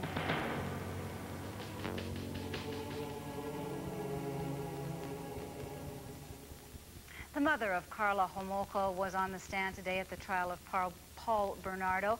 Karla Homolka is serving 12 years for manslaughter in the deaths of two Ontario teenagers, Leslie Mahaffy and Kristen French. Her former husband, Paul Bernardo, is now accused of their murders. Joining us from the courthouse, the CBC's Colleen McEdwards and Darcy Jenish of Maclean's Magazine. We saw that Dorothy Homolka, Karla Homolka's mother, was on the stand for much of the day today as a witness for the prosecution. Colleen, what was her demeanor like in court? She was very straightforward today, very firm in her answers, quite unemotional actually. Her voice quavered a little bit at times when she was talking about her daughter Tammy, but otherwise she was very straightforward and quite unemotional, I thought. Darcy, she, start, she started out by talking about the relationship of her daughter Karla with Paul Bernardo. Yes, she did, and uh, they, they, took took us through the sort of preliminaries, the, the pre-engagement period, and it's quite clear that uh, that uh, Karla was uh, in quite a swoon over this guy, and that he was a very charming uh, gentleman who uh, treated her like most of her other dates never did. I mean, it was opening the car door, bringing flowers, uh, a bottle of wine for the family, uh, just everything that a perfect young gentleman would do. And Colleen, then they she got on to, to what she would have thought of as darker times, I take it. That's correct. I mean, she talked about uh, what she perceived to be a, a, change in their relationship, although Dorothy Homolka admitted under cross-examination that she didn't really notice that change or didn't really suspect that her daughter was being physically abused until sometime after uh, Kristen French was killed. And that, uh, of course, is going to be a big issue in this trial in terms of when this alleged abuse actually started with Karla. That's right, Colleen. Uh, the prosecution is clearly trying to drag that timeline back as far into the relationship as they can. Uh, I would think it appeared today that, that the best they can do is, is somewhere after the first anniversary of their wedding, which would be June 92, and which is well after the both murders. And leading up to the rather horrible ending of this relationship, uh, which of course we saw through the photographs today, and a rather horrible beating uh, Karla did get at the, at the very end. It was quite quite shocking actually. And the defense really did uh, quite a, an interesting job today on, on changing the notion of, of when the abuse actually started. At, at one point, a very spirited point in the cross-examination, uh, John Rosen, who's Paul Bernardo's lawyer, uh, said to Dorothy Homolka, your daughter, when she came back from her honeymoon, didn't have any bruises on her, did she? Because, of course, the Crown has alleged that uh, Karla called her honeymoon the honeymoon from hell mm. because Paul beat her. And, and John Rosen says, says to her mother, she didn't have any bruises on her. In fact, she was dancing around in her bikini uh, at your pool that summer, wasn't she? And Dorothy Homolka answered yes. What did Dorothy Homolka say when she started to talk about the death of her daughter, Tammy? Well, she was very emotional there, and it, it's quite clear that this is the third family uh, involved in these tragic events, and uh, obviously they've been overlooked and uh, they're caught up in it in a very different way than the Frenches and the Mahaffys. But it was quite clear from her answers, and uh, particularly late in the day when uh, her daughter Lori took the stand, that they've been devastated by these events. And I, I believe she said that. Uh, Dorothy said a part of me went with her, and she said no one knows what it's like to lose a child, and she didn't break down. She was very composed, but she left no doubt about the impact of the, the Tammy's death on, on her and her husband. Colleen, why did the whole issue, or why is the whole issue of the death of Tammy coming up when uh, her death is not involved in the charges against Paul Bernardo? It's not involved in, in the charges for the purposes of this trial, but the Crown alleges that this whole incident with Tammy was the foundation. It was really the germ that led to all of the other events that, that happened in this case, that it was a in the Crown's word, words, a, horrible secret that Paul Bernardo and Karla Homolka shared, and that Paul Bernardo used this secret to control Karla and to threaten her and to tell her, look, if you ever leave me, um, I will tell your family what really happened to your sister. And, and that the, the Crown's uh, contention is that that is partly why Karla stayed in this relationship and partly why she admitted to going on and, and uh, you know, helping to, to kidnap and, and assault young girls. In fact, there was videotape today showing, and I believe the first piece is from uh, the night that Tammy died, Colleen. That's correct, and we should put this in the context of what the defense was trying to do with this videotape. This was introduced by the defense, which was trying very hard to portray the Homolka home as, let's say, not traditional. I mean, that, that there was a lot of, lot of drinking that went on, that Tammy was only 15 and that she had been drinking, that um, Mr. Homolka would call uh, would call his wife bitch and would say, get me a beer, bitch, which Mrs. Homolka said was their way of joking around. So the video that we're actually going to show you does pick up on Christmas Eve 1990, and it is, I guess, one of the last times that uh, that Tammy Homolka is shown alive. Uh, all right, wait, what are you drinking there? Uh, ice. Ice? Ice baby to go? No. Okay, let's see what's up. We have the television and we have La Karla drinking and La Lori, which is absolutely not drinking. Darcy Jenish, there was a second piece of video videotape, this, uh, I guess exactly a year later, at the home of Paul Bernardo. Uh, that's right, Anne. It's uh, Christmas 91, which is after the Leslie Mahaffy murder, uh, a year after uh, Tammy's death. And this is a living room scene uh, showing the opening of presents. And everybody's happy. there's, as John Rosen pointed out several times, you know, no bruises, no scratches, no cuts. Karla's a happy young woman recently married. And in fact, uh, they went from a living room scene to uh, a scene in which Lori tries on Karla's wedding dress, and then Karla is, uh, is uh, pictured in the wedding dress. And so the uh, object of the defense here is to portray uh, Karla as still very happily married, a full participant in this, in this, in this relationship, and to uh, undermine any suggestion that, that, this whole thing was coercion and that she was an unwilling participant. So let's have a look at that at that particular piece Yeah, you look at that. yeah, they're the best All right. Do you like those? They're good, eh? Buddy, don't eat that. What's he eating? Don't eat the paper, bud. It's the bones for you. That's Just like a kid, a baby. they open the front like... Buddy, sit. Isn't that beautiful? Darcy, you mentioned earlier, I believe, that uh, Lori Homolka had been on the stand today, ending uh, ending the proceedings today. She's going to be back tomorrow too. That's right, Ann. She just got started today, and uh, you never know how long they're going to be in the stand, but she'll be there in the morning, and uh, she'll be in well into the day, I suspect, uh, Thank- before she's off. Thank you both very much, and we will um, get your report again tomorrow. You're welcome. Thank you. Bye-bye. The trial today brought out more evidence about the death of Tammy Homolka, Bernardo's sister-in-law. He is charged with the abduction, sexual assaults, and murders of two Ontario teenagers. With a report, here's Colleen McEdwards. Unlike other Crown witnesses, the Homolka family was escorted to court in a van. Karla's mother, Dorothy, about to face her former son-in-law. Homolka rarely looked at Bernardo, and in a strong voice that quavered slightly at times, she described the night her daughter Tammy died. The death was ruled accidental, but prosecutors say Paul and Karla drugged and sexually assaulted Tammy in the basement of the Homolka home. This is Christmas 1990. Everybody. Bernardo's lawyer played this video of the night Tammy died. Paul was running the camera. Mom, stream close up. At just 7 o'clock, John Rosen suggested 15-year-old Tammy Homolka was drunk enough to slur her words. Is this supposed to be? Are you in the Christmas cheer? That's all I want to know. Yeah. You are? Rosen portrayed the Homolka family as drinkers. Carl Homolka as a man who called his wife Oh, it's my bitch, often saying, get me a beer, bitch, Okay, in front of the children. Okay, ready? We're gonna do extreme close up. Ready? Okay? Stream close up. Whoa! Dorothy Homolka did not disagree, saying they were always joking around.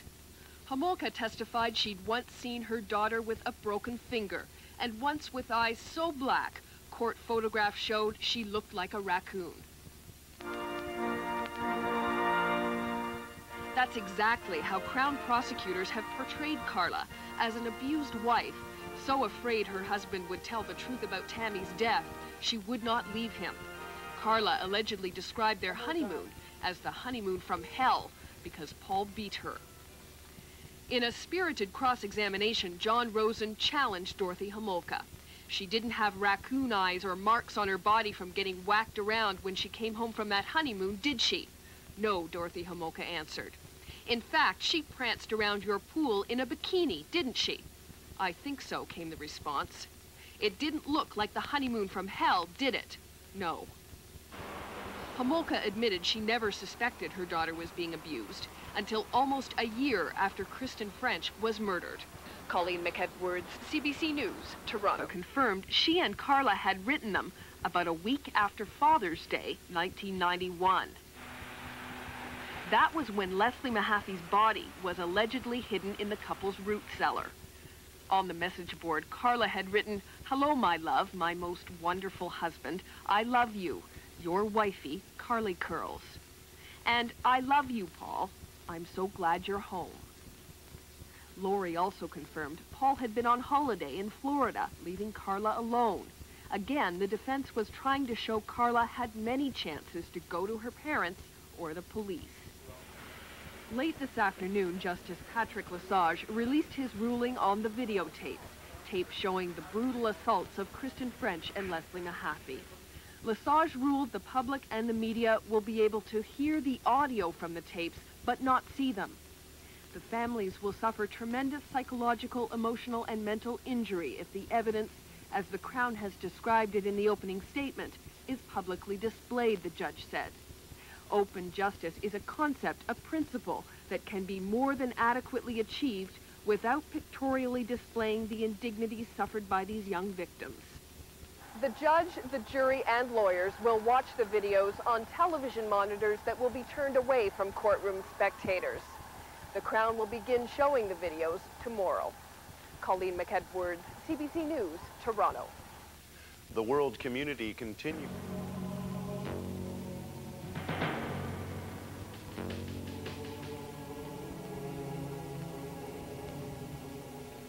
They are the videotapes, the Crown says, link Paul Bernardo to two Ontario teenagers. It says the tapes show Paul Bernardo raping and torturing Leslie Mahaffy and Kristen French. two teenagers he is accused of murdering. The tapes, which the Crown says were made by Bernardo and his former wife Karla Homolka, have been the subject of a legal battle. Media outlets wanted them shown to the entire courtroom during the trial. But the families of the two girls hired a lawyer to argue that the court should restrict who will be able to see the videotapes. Today, Judge Patrick Lesage ruled reporters and the public will not be able to see the tapes, only court officials and the jury. But the audio portion will be played for anyone in the courtroom to hear. Joining us from the courthouse, the CBC's Colleen McEdwards and Nick Pron of the Toronto Star. Colleen, what reasons did the judge give for his ruling about the videotapes being heard by the court but not seen? Well, he essentially says that there's no societal value in showing these graphic images in, in open court. He's saying that the families of the victims would suffer irreparable harm if these images were shown, and that open justice can still be served by showing these tapes to the jury and allowing courtroom spectators to hear the audio, uh, but not see the graphic evidence. And Nick, what do they do to ensure that that happens? I mean, I know there are monitors in the courtroom. How do they ensure that only those who are supposed to see it, see it? I suppose we should have seen this ruling coming. It's very clever. There's large flaps on the uh, jury panel TVs. There's recessed uh, TVs for Bernardo and the Crown and defense lawyers, so you have to look up, down towards them. They're actually in their In- desks, so in they desks. look down. It's, Yeah. it's interesting that Rosen, John Rosen, the defense lawyer, had his TV on top of the uh, his desk, so everybody in the courtroom could more or less see it. It was a small 12-inch screen, but after the judge's ruling, that that too was gone. So we uh, that was the end of that. Colleen, the prosecutors talked about a woman known only as Jane Doe, who they say appears unconscious on one video. What do we know about this Jane Doe videotape? Well, we know that uh, it involves a sexual assault that involves a woman identified only as Jane Doe, and that it will also be part of um, videotapes that are shown that no one will see. Um, that uh, the feeling is that, that, that Jane Doe's identity and her privacy needs to be protected. She, of course, is still alive. She was allegedly uh, drugged and sexually assaulted. The Crown alleges by Bernardo and Karla Homolka. Nick, the um, we heard testimony as well the past two days from uh, the mother, Mrs. Homolka, and the sister, Lori. Now, what came from that evidence that struck your attention? What grabbed what grabbed my attention, I thought was quite interesting. I know we were talking about earlier that after Karla was assaulted in January of '93, the parents were concerned about her, and they went to the house and told her it was time to go. Took out her belongings, and she literally, I guess, she literally had to be dragged from the house. They talked about putting a, the grab on her, words to that Yeah, that the father actually had to physically, take her and say, you're coming. you're coming with us.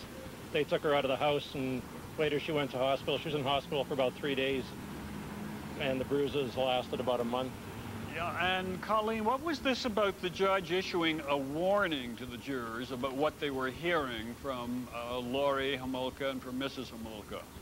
The judge warned the jurors that this was essentially what he was saying is this is not an assault trial, that they were not to take from, from this evidence of, of assault and from the very graphic pictures of how Karla looked after the assault, that they were not to take from this that the accused has a propen- propensity for violence or that he therefore, you know, somehow is the murderer because he has this propensity for violence, that they are only to take this evidence and use it in by way of understanding the relationship that existed between Paul and Karla. And I think he mentioned to the jurors that that relationship would become more and more significant, uh, significant as, as the trial wore on. Nick, I know that uh, they had testimony as well from an RCMP expert talking about improving the sound of the audio. What did he have to say?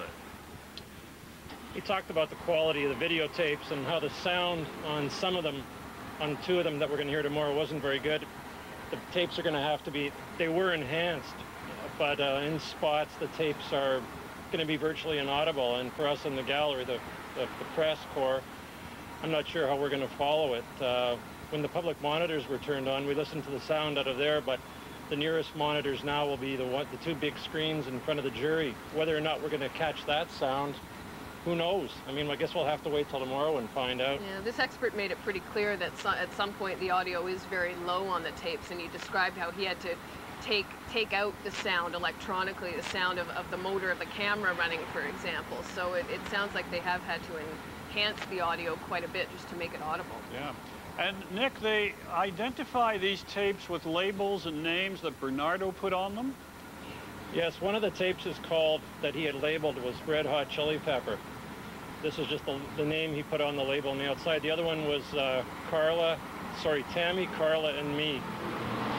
We started out talking about the judge's ruling that uh, the videotapes will be heard by everybody in the courtroom, uh, but can only be seen by select few, the jurors, the judge, uh, Bernardo himself, lawyers, court staff. What's the full significance of that, Colleen? Well, I, it's going to be significant in terms of uh, in terms of what the public sees, obviously, and, and how we cover it, in terms of whether or not we will be able to hear.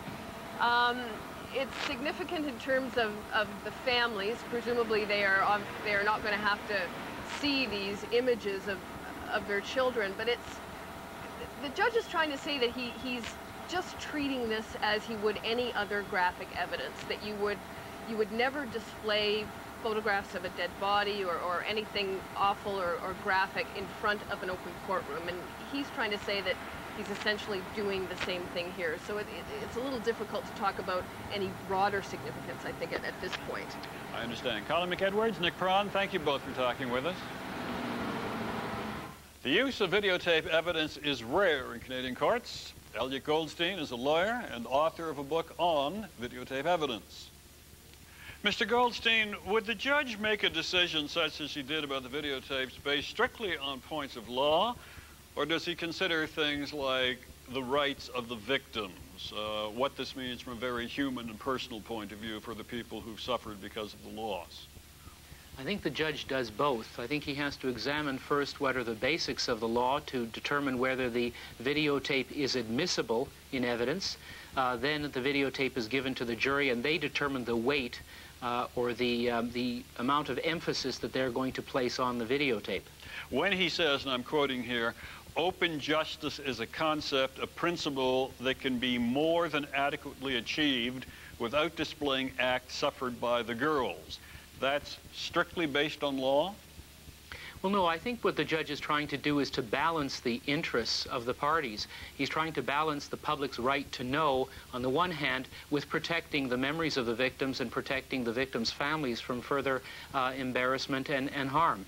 And how does the defense deal with a decision like that? Would the defense feel, for example, that they basically have a hand tied because sounds can be heard, pictures cannot, or for that matter, would the crowd be concerned about who sees and hears this other than the jury?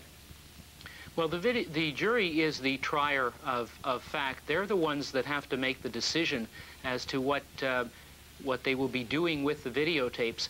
But uh, the Crown certainly has an opportunity to cross-examine the witness who authenticates the videotapes. And in this particular situation, the judge, he has rendered a very really a, a, brilliant decision. He's effectively reached a, a, compromise that gives something to, to everyone and still maintains the integrity of the judicial process. So you weren't surprised by this decision at all?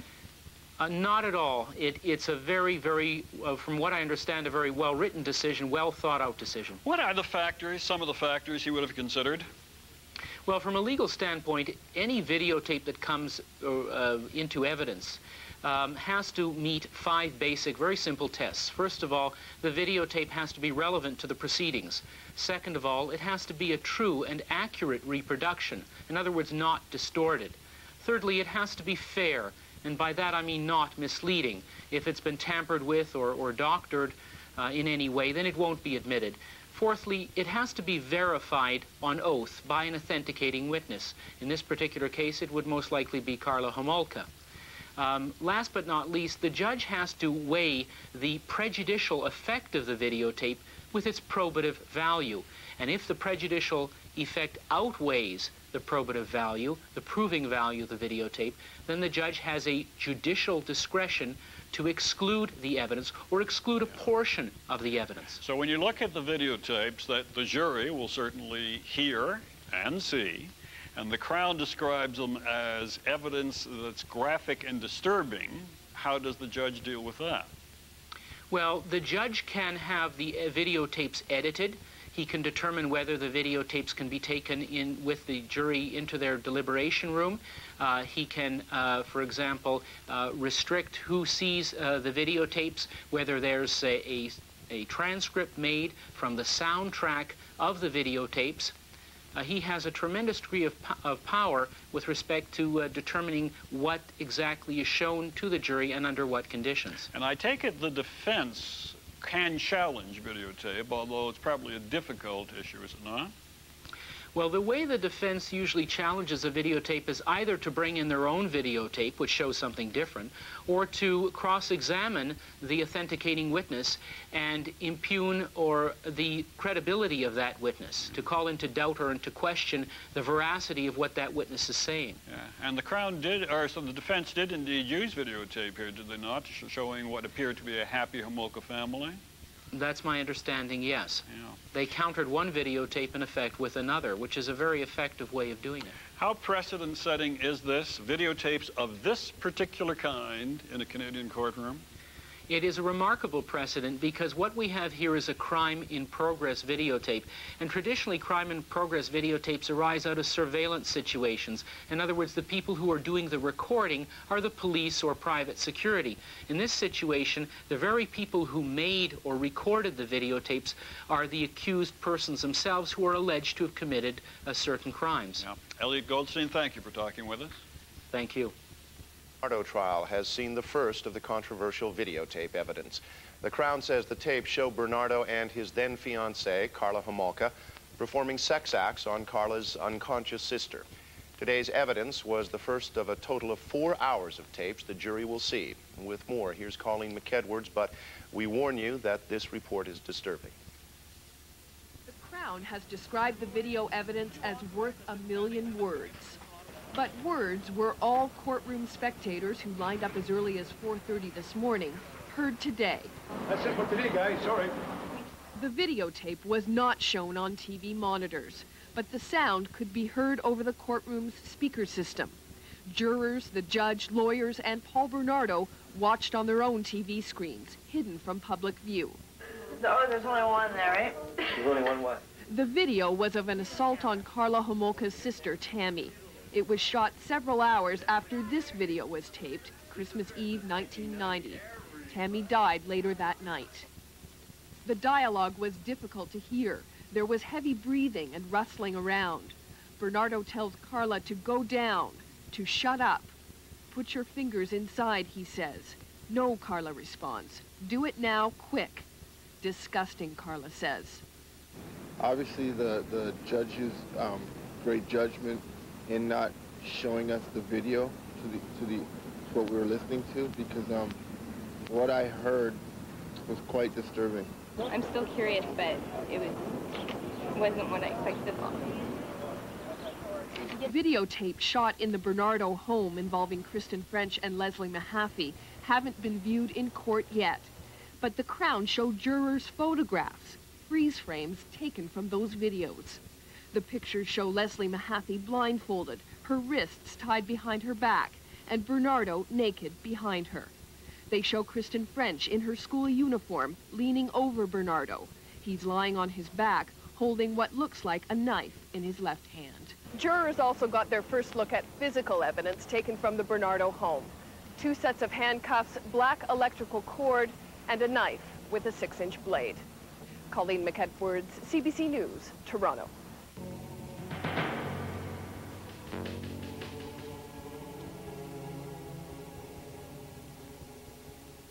The first of what's described as disturbing videotape was shown today at the Paul Bernardo murder trial.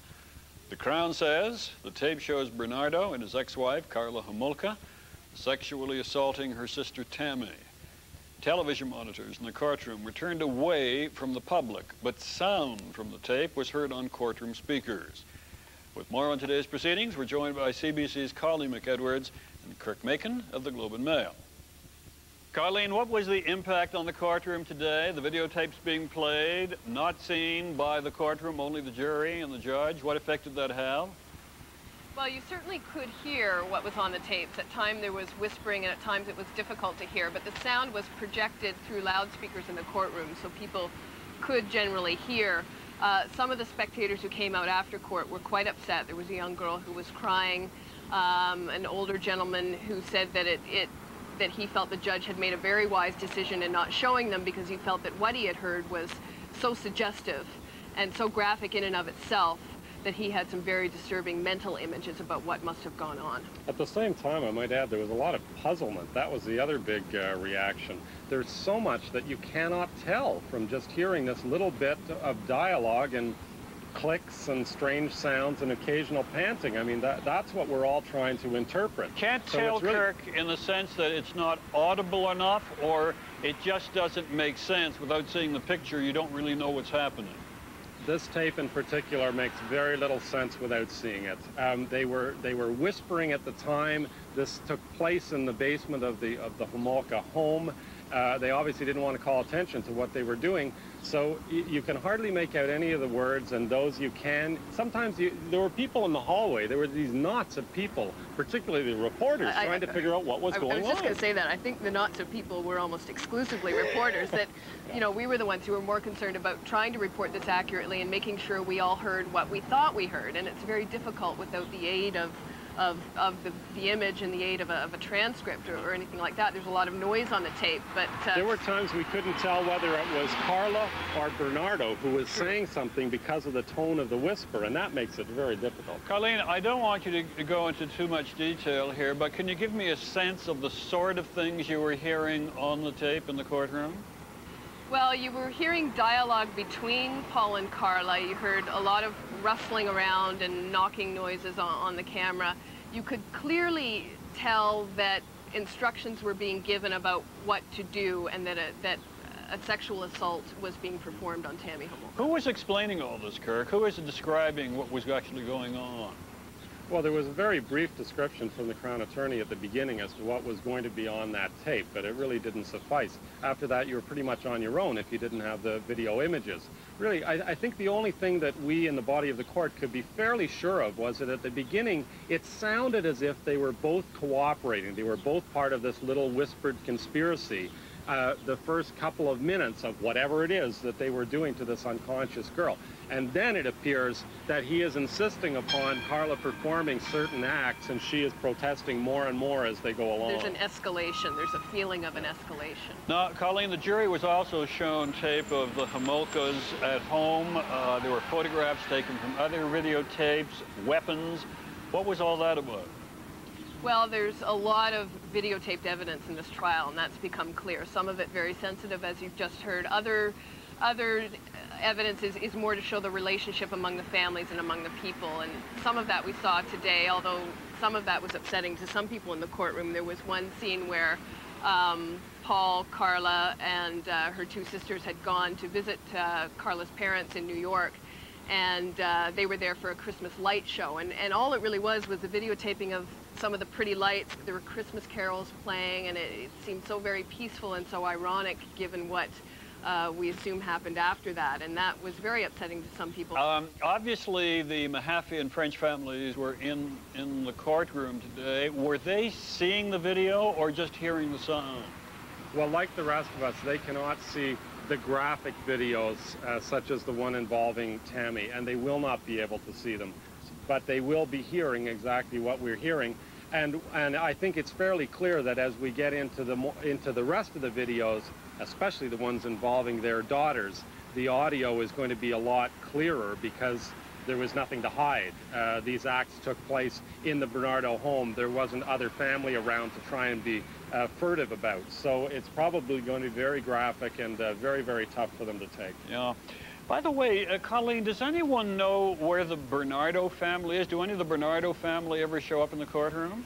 They have never shown up in the courtroom and uh, apparently are not expected to. What's going to happen tomorrow, Kirk? Well, we've had, in a way, a primer, a gradual getting used to what's coming, which maybe is the best thing for the jury. The Tammy tape was, in a way, a little bit distant from everybody there because it, it doesn't connect to the families who are present. But tomorrow we will almost certainly be into the uh, mistreatment of, uh, of the French girl and the Mahaffy girl, and it's going to be graphic and explicit, and it's going to be very tough, and perhaps today has prepared the jury and the families somewhat for what's to come. The jury, we should add, remained quite composed throughout all of this. Before uh, the videotape was played, the judge said to them, you know, I want to remind you, the images are going to be disturbing. If any of you want to break at any time, get my attention, you know, whatever, we'll stop. He indicated that they're not going to go for longer than 45 minutes when they're watching these kinds of things, but uh, they remained very composed. And Kirk, I take it there were more people than usual at the trial today? Yeah, somewhat surprisingly, at least to me, uh, there was quite a long lineup outside the front. I obviously wrongly had this feeling that given that everyone knew the nature of the evidence today that not a lot of people would want to hear, you know, the, the, the, the screams and pleas and all the rest of it of, uh, of these children. But there's just something that's very compelling for people about what's taking Yeah. place. Colleen McEdwards, Kirk Makin, thank you both for talking with us. You're welcome.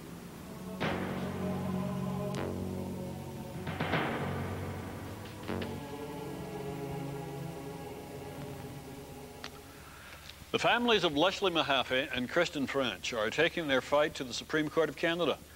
Their lawyer, Tim Danson, is asking the court to overturn a ruling that allows the public to hear but not see graphic videotapes.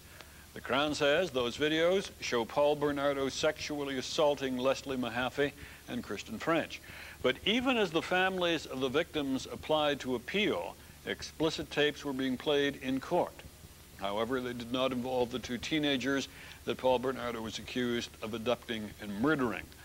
The CBC's Colleen McEdwards and Anne-Marie Owens of the St. Catharines Standard were in court today. Colleen, what can you tell us about Tim Danson's appeal to the Supreme Court of Canada? Well, the lawyer for the families has asked the Supreme Court of Canada to hear this appeal. There has not been a decision yet on whether the court will, in fact, hear the appeal, and I understand we'll be getting some more information about that tomorrow. But meanwhile, Colleen, I gather the court continues with proceedings tomorrow and videotapes will be played again tomorrow in spite of this appeal? That's correct. The court uh, goes on, the trial goes on as, as far as we can tell. Things will go on just to, as if nothing else is happening, and more videotapes will be presented tomorrow. Anne-Marie, have you heard anything from the families, uh, the Mahaffy or the French families, how they feel about this? I haven't heard about what's happening with the appeal, but I spoke to them after the, the French family after the ruling. The judge first released his ruling. Um, I spoke to uh, Kristen's brother-in-law. He's the family spokesperson, and he just released a brief statement basically saying the family was uh, happy that the videotapes, pleased that the videotapes would not be shown in court, but disappointed that the same, the restriction did not apply to the audio portion. And they said at that time that was all they were going to be saying at that time. Yeah. What was seen, or I should say, what was heard today, Colleen? Well, actually, we did see images today. Uh, there was a videotape actually shown on the public monitors. It was shown because it did not involve any of the alleged victims here or any non-consensual acts. It was a video showing Paul and Karla shortly after the death of Tammy Homolka, Karla's sister. And they were engaged in sexual acts in the Homolka home and they were talking um, as if they were following a bit of a script, a bit of a role-playing fantasy, talking about Tammy's death and fantasizing about other things that they, they might do to other girls. And Anne-Marie, any obvious reaction from the jury as these tapes were played? Uh, the jury is their their faces are fairly uh, fairly focused, fairly expressionless in a way. But it, during uh, after the we're seeing these tapes uh, three times. So once the the first one that we saw was played the the third time through, one of the jurors put up his hands with, and said, you know, can we have a break now? Because obviously it was just sort of wearing on them a little bit. Yeah, they look a little uncomfortable. It- Yeah. it's very uh, explicit, though not violent. It's Very explicit graphic. sexually, and it, it's difficult to watch. And another, sorry, another juror at one point uh, put up her hand and asked the judge if she could, uh, what they did if they disagreed with the transcripts in front of them. All the jurors now have been given transcripts for the second uh, viewing of the uh, of the tapes. Colleen, we touched on this briefly yesterday. Why are the tapes being played three times? Well, that's uh, an agreement that the Crown and the defense have reached, and they feel that because the images are going by so quickly and because in some cases the sound is actually quite poor, that they need to, the jurors need to see them three times. Once where they're to focus on the images that they're seeing. A second time where they're to focus on the transcript um, that Anne-Marie just mentioned that they have in front of them, where they focus on the words that are being spoken. And a third time, if necessary, not all the tapes today were shown three times, but if necessary, where they can watch again and where uh, the Crown or the defense, uh, the Crown is, is, doing this right now, but, but the defense uh, eventually would be able to ask that the tape be stopped and would be able to point out certain uh, things that, that jurors might want to notice in the tapes. And Anne-Marie, I know that with the French and Mahaffy families in the courtroom, they hear these sounds as the tapes are played and replayed. Right. How have they reacted to this? Well, as, as Colleen had mentioned before, they have they had left during uh, you know once the, this repeat playing is being done, they they are they leave because obviously this is very hard for them. It's obviously it's not showing their children, but it's it's very difficult for them to, to watch this explicit stuff in court and think and probably in their minds think of what's to come. They've never walked out of the courtroom before during the playing of tapes or any evidence of any kind, have they, Colleen? No, they never walked out, but the Mahaffys at one point were walking across the courtroom when some of the photographs were, were being, being, shown. shown and they weren't being shown on the public monitors, but you could see them on one of the monitors in front of the lawyers. So they were sort of making a point of, of walking across and sitting down as if to block that. Today, on two occasions, they did walk up and actually leave the courtroom. Um, and, and eventually, that's two rows of people basically right. leaving. And eventually they just didn't come back when it became clear Right. that the tapes were going to be played all day. Anne-Marie, is the Crown saying why they're introducing evidence of this kind? They're not they're not speaking specifically to, to each segment as they introduce it, but they've said earlier on that that they are introducing um, these things that may not seem to have anything to do with the crimes against the two victims because um, of what it says, what they say it says about the relationship between Paul and Karla, and that's sort of the nature of, of all this. And that was very important today in, in terms of the dialogue that was heard on the tape and in terms of, of Karla, you know, calling Paul the king and um, they seem to be following this sort of script and talking about Tammy Homolka's death. The Crown contends that this sets out their relationship, that this shows who's leading whom and, and, and what, what the relationship is like. But obviously, a lot of people that, that I talked to, a lot of people in the public who were in there, when they left, they're wondering why is this being shown. True. They're they're a little puzzled by it all, and they wonder what it has to do with the crime. And I gather, Colleen, a lot of people who came to that courtroom today just to watch left shortly after the first tape was, was played. They did. The first tape was played. It took about a half an hour, and then it became clear that they were getting ready to play it for that second time for the jurors to focus more on on, on the audio. And at least half that oh, courtroom yeah. got up and, and walked out, and, and many of the public seats were empty. and as that. they walked out, I, I, I was down on the escalator with a lot of them. A lot of them were just shocked to see it. You know, they just, I guess they, they clearly hadn't expected to be seeing anything, probably, since the judge's ruling. They had just thought it applied to everything and hadn't expected to see anything. I have to stop you both there. Colleen McEdwards, Anne-Marie Owens, thank you both for talking with us. You're Thank welcome. you. Canada's highest court has not yet revealed whether it will agree to hear the appeal by the French and Mahaffy families. But the fact that the two families applied is an unusual step in Canadian courts. Doug Hunt is a former Crown attorney who now practices criminal law in Toronto. Mr. Hunt, how significant is this appeal to the Supreme Court regarding those uh, videotapes? Well, it's quite significant. It's a, it's a novel uh, uh, appeal that's being taken. It's only since uh, December of last year that there was a route of appeal open to the Supreme Court of Canada. Uh, obviously, uh, it would be open to the Supreme Court if they listened to the appeal to uh, reverse the judgment that uh, the trial judge has made and to, uh, in some way, alter the way that proceedings are now uh, taking place with the videos being shown only to the jury and the audio being available to the public. What was the precedent for this kind of appeal? Well, there was a case uh, heard by the Supreme Court last year that was uh, give, they gave judgment on in December that involved the CBC and the Boys of St. Vincent and a publication ban that uh, prevented uh, broadcast of that show. In the resolution of that appeal, the Supreme Court set out a procedure for dealing with applications to trial courts uh, for publication bans and what the parties who uh, weren't happy with the result could do, and they provided an appeal directly from the trial court to the Supreme Court of Canada. Yeah.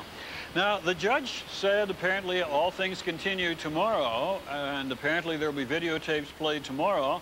So the proceedings continue with these videotapes as if the Supreme Court decision is irrelevant at the moment. Is that right? Yes, that would be the way it proceeds. The trial court's uh, ruling is the ruling that uh, is now in effect, unless it's reversed by the Supreme Court after a, after a full hearing of some sort.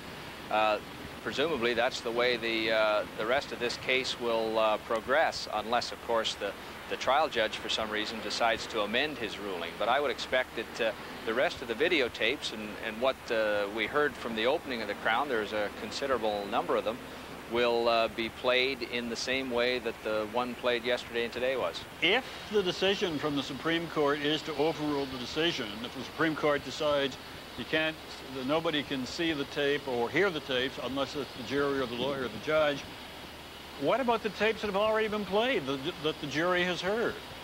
Well, that is, uh, I suppose, why it's in the interest of any party appealing to try to get it heard in the Supreme Court as quickly as possible because there's nothing that can be done about what happens in the interim while the appeal is pending.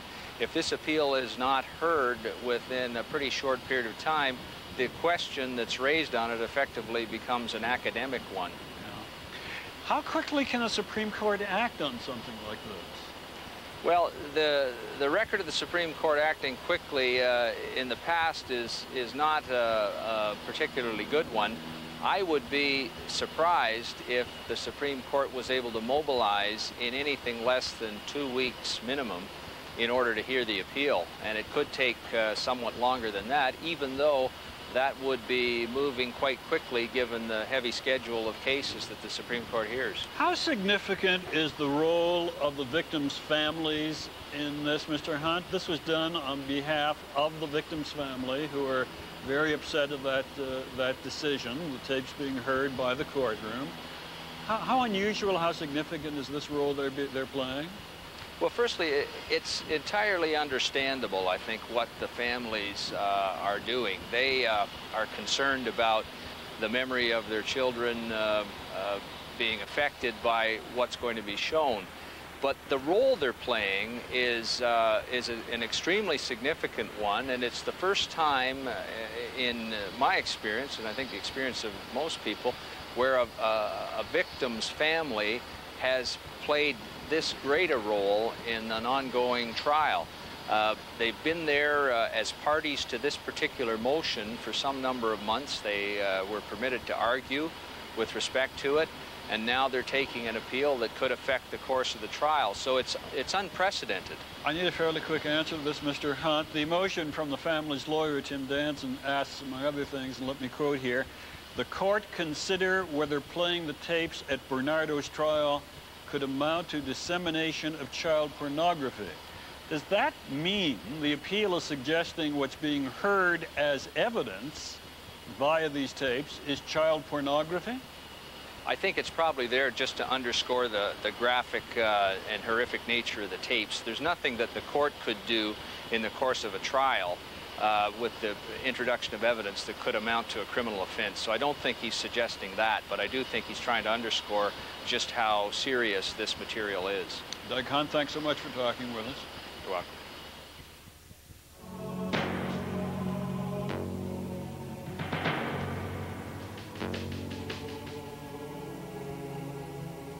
Evening. The controversy over the graphic evidence at the Paul Bernardo murder trial could soon move to the Supreme Court of Canada. The parents of Kristen French and Leslie Mahaffy are upset the public is being allowed to hear videotapes that allegedly depict Bernardo raping their daughters. They want the High Court to turn off the sound. The trial judge has already ruled courtroom spectators can't see the tapes. Today, however, they were allowed to see other videos ones that show Bernardo and his then-wife Karla Homolka having sex and plotting the rape of young girls. We have two reports tonight, and our coverage begins with the CBC's Paul Hunter. Before Karla Homolka moved in with Paul Bernardo, she lived here with her family. It was in this house that Bernardo videotaped a family Christmas party, people drinking, Karla's teenage sister Tammy getting drunk. Oh, there's only one there, right? There's only one what? The Crown says she was drugged by Bernardo and Homolka, who raped her before she died. Bernardo's now on trial for raping and murdering two other teenage girls. In court, there was another videotape shot in the Homolka home just after Tammy died. Explicit video shown to the jury and the courtroom. In one scene, Homolka dresses up as Tammy and has sex with Bernardo in her dead sister's room.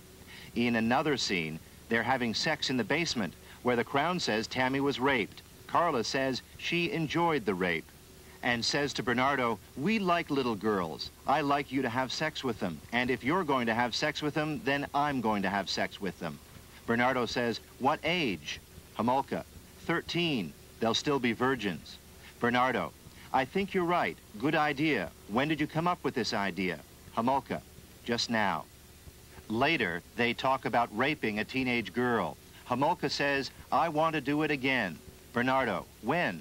Homolka, this summer. Bernardo, will you help me get the virgins? Homolka, mm-hmm. I'll go in the car with you if you want. I'll do everything I can because I want you to be happy. You're the king. It was a few months after that, Bernardo and Homolka living in this house. The Crown says Bernardo abducted 14-year-old Leslie Mahaffy, raped and killed her.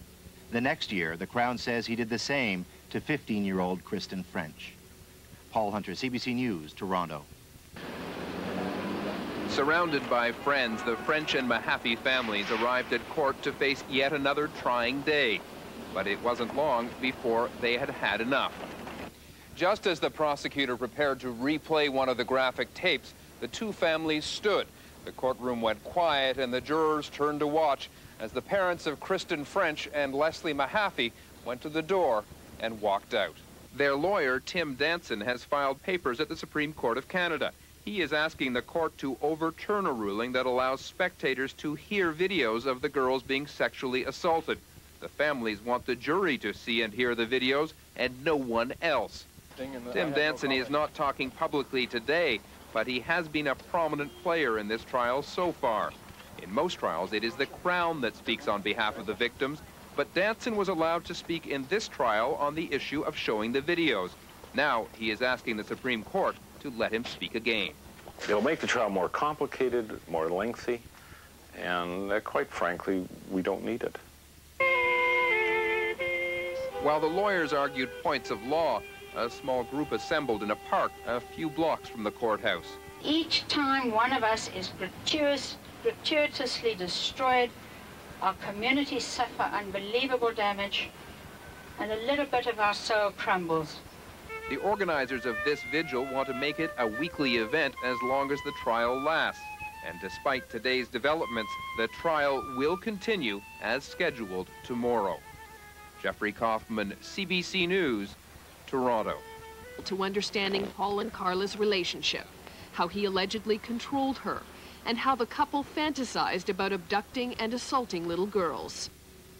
The video shows Paul and Karla lying in front of a fireplace. They are engaged in oral sex. The dialogue is repulsive. The references to Tammy's death, shocking. Karla talks about enjoying their assault on Tammy.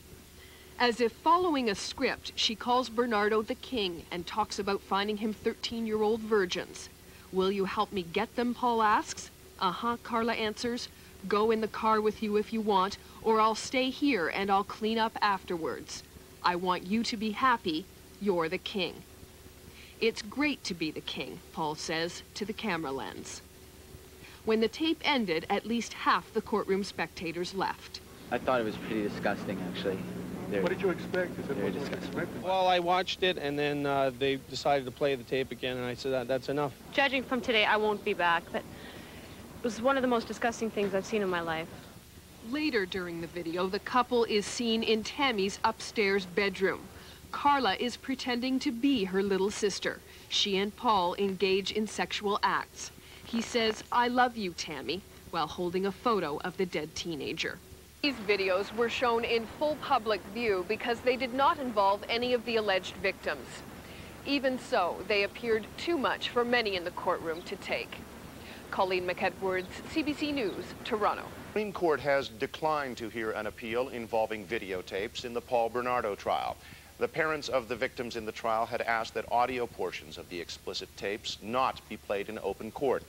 More of those tapes were played at the trial today, including one which the Crown says was recorded during murder victim Leslie Mahaffy's last hours. Colleen McEdwards has this report, which we warn is disturbing. The Crown has already shown video of Paul and Karla drugging and sexually assaulting Karla's sister, Tammy Homolka. Today, jurors watched a hauntingly similar video, this one shot in the Bernardo home after Tammy's death. This time, the alleged victim is a girl identified only as Jane Doe. Her identity is protected because she is still alive. The Crown paused the tape and asked jurors to note a bottle of liquid anesthetic drug. It was visible in the background. A drug-soaked cloth was being held over Jane Doe's face, just as it had been with Tammy Homolka. Then, the tragic chronology of Leslie Mahaffy's confinement began. The Mahaffy and French families left the courtroom, but later, Debbie Mahaffy returned. She sat with two friends, clutching her chest and weeping. Who is your favorite guy? Paul is heard asking a blindfolded Leslie Mahaffy. I think you know what to say. I want you, Leslie answers. Her voice sounds thick. I'm judging you right now. These next two hours are going to determine what I do to you, Bernardo says. And later, good girl, do you want some champagne? In the final segment, Leslie is heard in obvious pain. Just let me go, she pleads. I won't ever say anything about you. I want to see my family and my brother and my friends. Please. All of the other videotapes have been played two or three times, but the judge asked that the last videotape be played only once. Some of the jurors were visibly upset. It's not a pleasant way to end the week, the judge said to them sternly, but that is the evidence. Colleen McEdwards, CBC News, Toronto. Forest fires continue to burn across large sections of Western Canada. In Alberta,